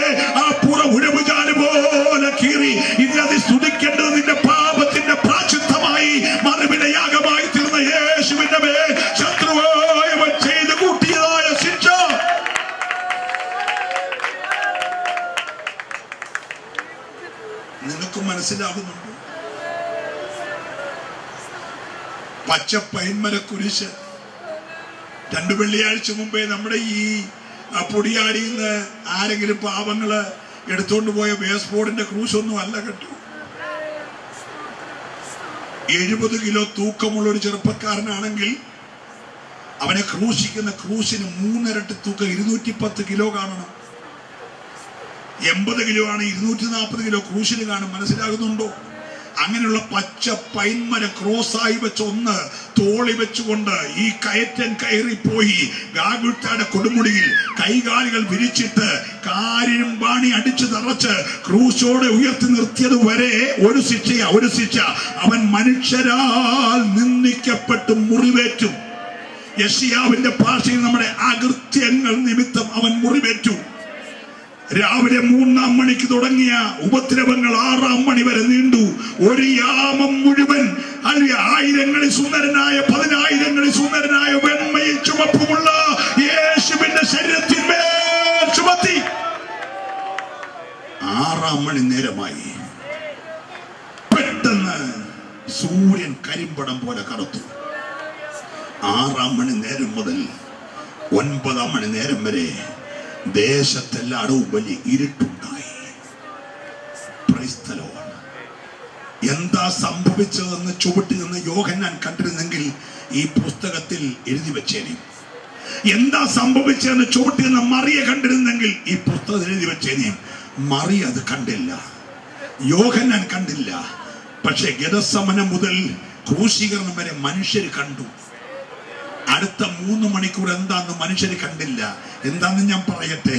നമ്മുടെ അങ്ങ് പഞ്ചാബിലും രാജസ്ഥാനിലും ഗുജറാത്തിലും ഒക്കെ വിളയുന്ന വയലേലകളിലെ ഗോതമ്പ് കൊയ്തെടുത്തുകൊണ്ട് ഫുഡ് കോർപ്പറേഷൻ അത് വിലയ്ക്ക് വാങ്ങിച്ചിട്ട് ഇവിടുത്തെ ഫുഡ് കോർപ്പറേഷൻ ട്രെയിനിൽ അത് ചുമന്നു കൊണ്ടുവന്ന് നമ്മുടെ പള്ളത്ത് കൊണ്ട് ഇറക്കി ലോറികളിൽ അത് മറ്റുള്ള സ്ഥലങ്ങളിലേക്ക് പോയി. അത് നല്ല ബേക്കറിക്കാരൻ രണ്ടും മൂന്നും ചാക്ക് ഒന്നിച്ച് വിലയ്ക്ക് മേടിച്ച് അവന്റെ ബോർമയിൽ ബേക്ക് ചെയ്യാൻ കൊണ്ടുപോയി. അത് ചേർന്ന് പ്രോസസ്സിംഗ് എല്ലാം കഴിഞ്ഞിട്ട് കൊച്ചു കൊച്ചു ഡിഷിനകത്ത് ബ്രെഡിന്റെ അളവിൽ അല്പാൽപ്പം മാവെടുത്ത് വെച്ചിട്ട് ഒരു വലിയ ബോർമയ്ക്കകത്തേക്ക് ബേക്ക് ചെയ്യാൻ കയറ്റി വെക്കും. ഒരു പ്രാവശ്യം ഒന്നിച്ച് ആയിരമോ രണ്ടായിരമോ ബ്രെഡ് കയറി കൊള്ളാവുന്ന പോലെ അകത്ത് കയറ്റി വെച്ചിട്ട് അടിയിലൊരു തട്ടുണ്ട്. ആ തട്ടിന്റെ താഴെ ചിരട്ടകൾ നമ്മുടെ തേങ്ങ എടുത്തതിന്റെ ബാക്കി ചിരട്ടകൾ ഒന്ന് രണ്ട് തിരിച്ചു തിരിച്ച് മുഖം തിരിച്ചു വെച്ച് അടുക്കിൽ വെച്ചിട്ട് അടി തീ കൊടുക്കും. ഈ ചൂള പോലെ കത്തുന്ന ചിരട്ട ചൂട് അകത്തോട്ട് വരുമ്പോൾ ഡോർ അടയ്ക്കും. ഡോർ അടച്ചാൽ അകത്ത് ഭയങ്കര ഇരുട്ട. എന്താ സംഭവിക്കുന്ന ആർക്കും അറിയത്തില്ല. പക്ഷെ ഈ വെച്ചവനൊരു സമയമുണ്ട്. സമയം കഴിയുമ്പോൾ ആ വെച്ച മാവ് നല്ല മണമുള്ള ബ്രെഡായി പുറത്തു വരുന്ന പോലെ അല്ലലുയ്യ ദൈവത്തിന്റെ കലവറയിൽ ലോകസ്ഥാപനത്തിന് മുമ്പേ ദൈവം സൂക്ഷിച്ച ഗോതമ്പ് മണിയായ കർത്താവ് ഇന്നേക്ക് രണ്ടായിരം വർഷങ്ങൾക്ക് പുറകിൽ കാലസമ്പൂർണതയിൽ ഈ ലോകത്തിലെ വരണ്ട നിലത്ത് വേർമുളയ്ക്കുന്നതിന് സ്വർഗത്തിൽ നിന്ന് വലിച്ചെറിഞ്ഞു കന്യക മറിയവരുടെ ഉദരത്തിൽ നിന്ന് ഉരുവായ ആ ഗോതമ്പ് മണി ഇവിടെ മുപ്പത്തി മൂന്നര വയസ്സ് വരെ വളർന്നു. മുപ്പത്തി മൂന്നര വയസ്സിൽ ഗതസമന തോട്ടത്തിൽ വെച്ച് ആ ഗോതമ്പ് കൊയ്യപ്പെട്ടു. അവിടെ മുതൽ യവത തുടങ്ങി. ഗാഗുൽത്ത വരെ അത് മെതിക്കപ്പെട്ടു. ഗാഗുൽത്തയുടെ കൊടുമുടിയിൽ ദൈവത്തിന്റെ കോപാഗ്നിയിൽ ആ ജീവന്റെ അപ്പം വെട്ടെടുത്തു അവൻ പറഞ്ഞു എന്നെ ഭക്ഷിക്കുന്നവൻ എൻ മൂലം ജീവിക്കുമെന്ന്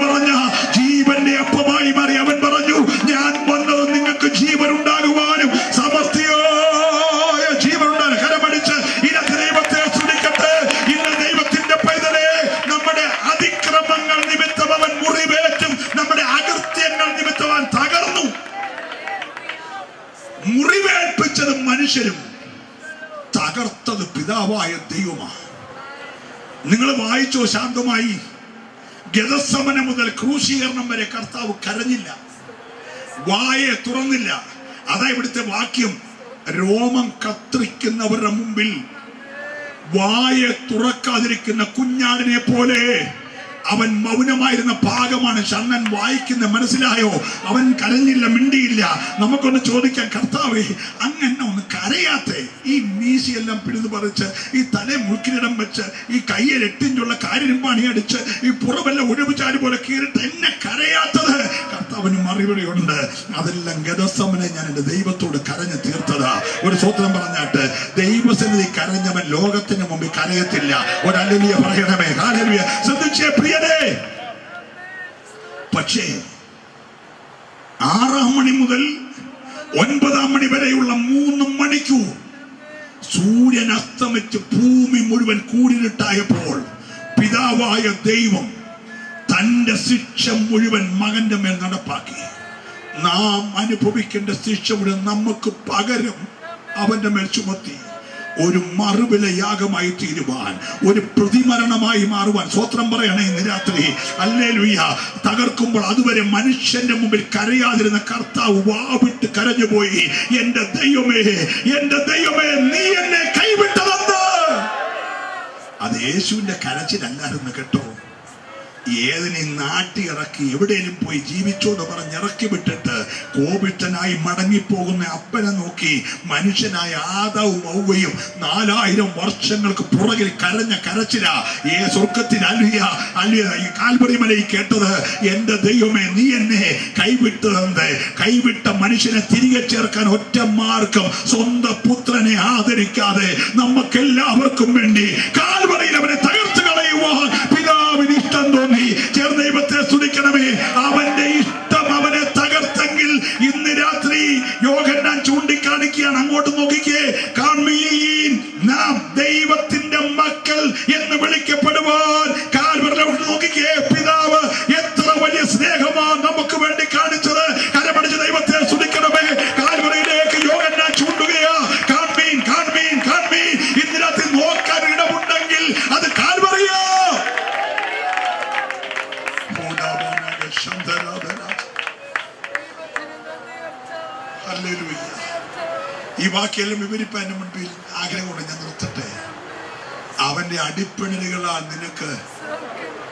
ഹോ, ഈ രാത്രി പീസ് ചെറിയ മുമ്പോട്ട് വിളിച്ച് തലയെ കൈവച്ച് നിന്റെ പനി മാറട്ടെ ചുമ മാറട്ടെ കാൻസർ മാറട്ടെ ഒന്നും പറയണ്ട. നീ യേശുവിനെ ഒന്ന് വിശ്വസിച്ചാൽ അവന്റെ കാൽമുറിയാകെ നീ ഒന്ന് അംഗീകരിച്ചാൽ മതി. ആ നിമിഷം നിന്റെ രോഗം എത്ര വലിയത്? ആ സെക്കൻഡ് അത് സൗഖ്യമാകും. അത് ഞാൻ ഈ മെസ്സേജ് പറയുമ്പോൾ നിന്റെ രോഗത്തിന് കെട്ടടിച്ചുകൊണ്ടിരിക്കുക നാളുകളെ നിന്റെ കുടുംബത്തിനെ അലട്ടുന്ന രോഗബന്ധനങ്ങളെ. ഓ ഇന്ന് രാത്രി യേശു അഴിച്ചുകൊണ്ടിരിക്കുക വിശ്വസിക്കുന്നവർ ആ കരം ചേർത്തടിച്ച് രാത്രി ദൈവത്തെ സ്തുതിക്കട്ടെ.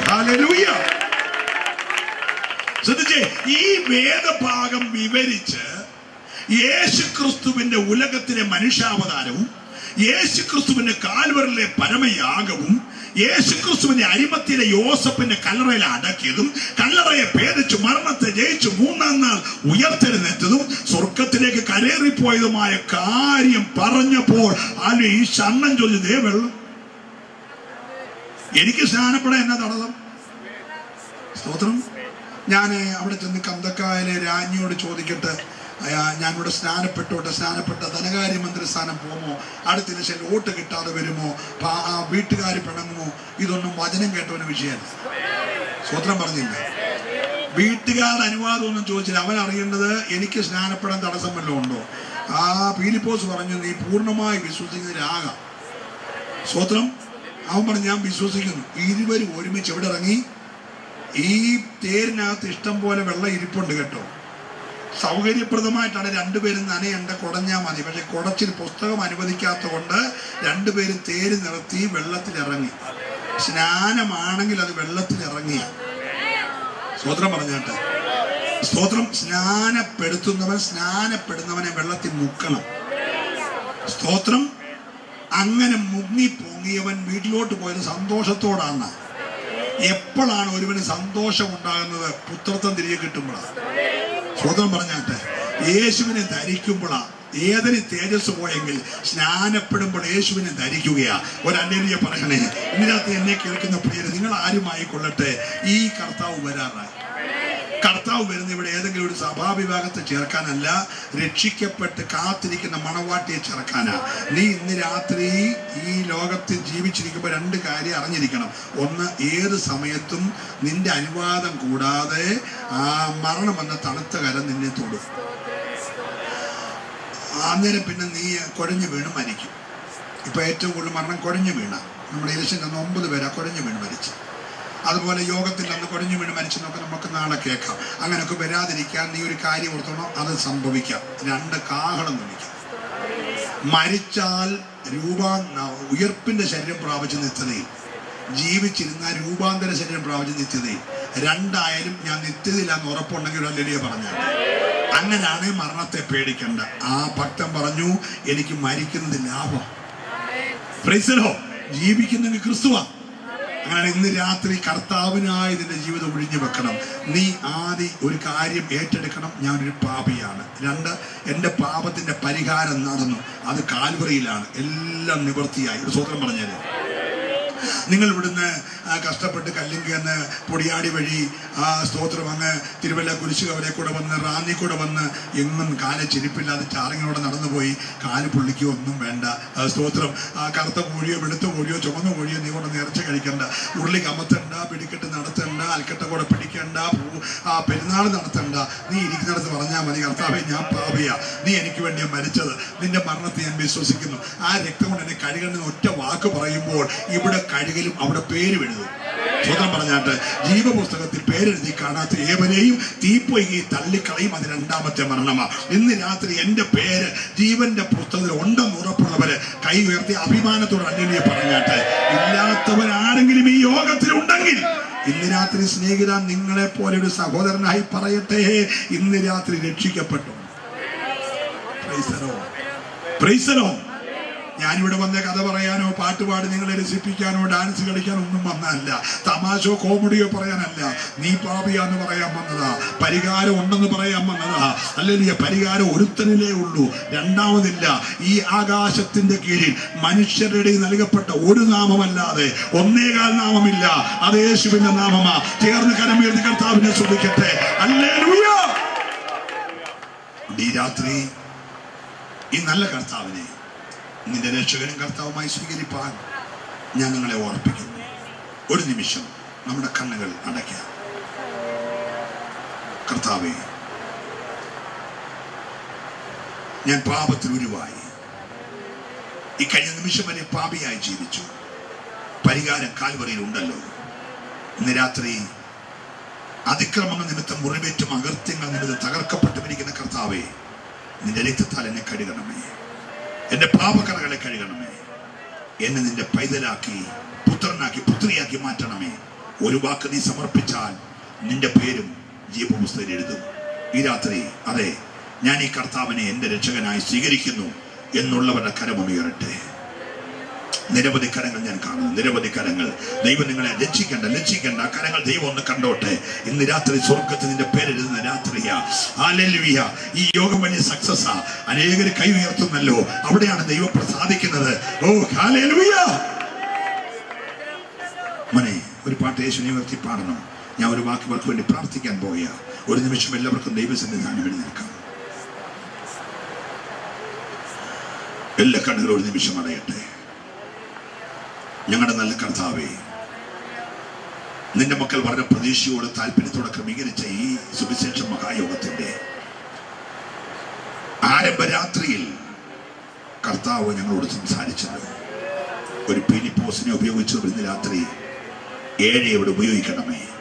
ഈ ജനത്തിന് സന്തോഷമുണ്ടാകട്ടെ. ഈ ജനം പാപബോധമുള്ളവരായി ഏറ്റുപറഞ്ഞ അനുതാപത്തോടെ മാനസാന്തരത്തിലേക്ക് നടത്തപ്പെടട്ടെ. യേശുവിന്റെ മക്കളായി തീരട്ടെ. ദൈവത്തിന്റെ മക്കളായി തീരട്ടെ. നിന്റെ രക്തം കൊണ്ട് എല്ലാവരെയും കഴുകണമേ. കുടുംബങ്ങളുടെ ശൂന്യതകൾ മാറട്ടെ. കുടുംബങ്ങളുടെ ശാപങ്ങൾ മാറട്ടെ. തലമുറകളുടെ കെട്ടുകൾ അഴിയട്ടെ. ദേശത്തിന്റെ ബന്ധനം അഴിയട്ടെ. ഇതിനകത്ത് യേശുവിന്റെ നാമത്തിൽ.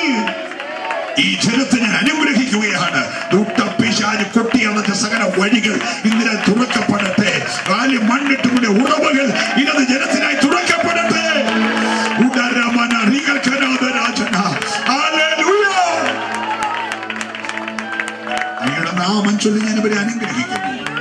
യേശുവിൻ നാമത്തിൽ തന്നെ കാര്യങ്ങൾ അടിച്ച് ഒരുമിച്ച് ദൈവത്തെ സ്തുതിക്കുമല്ലോ.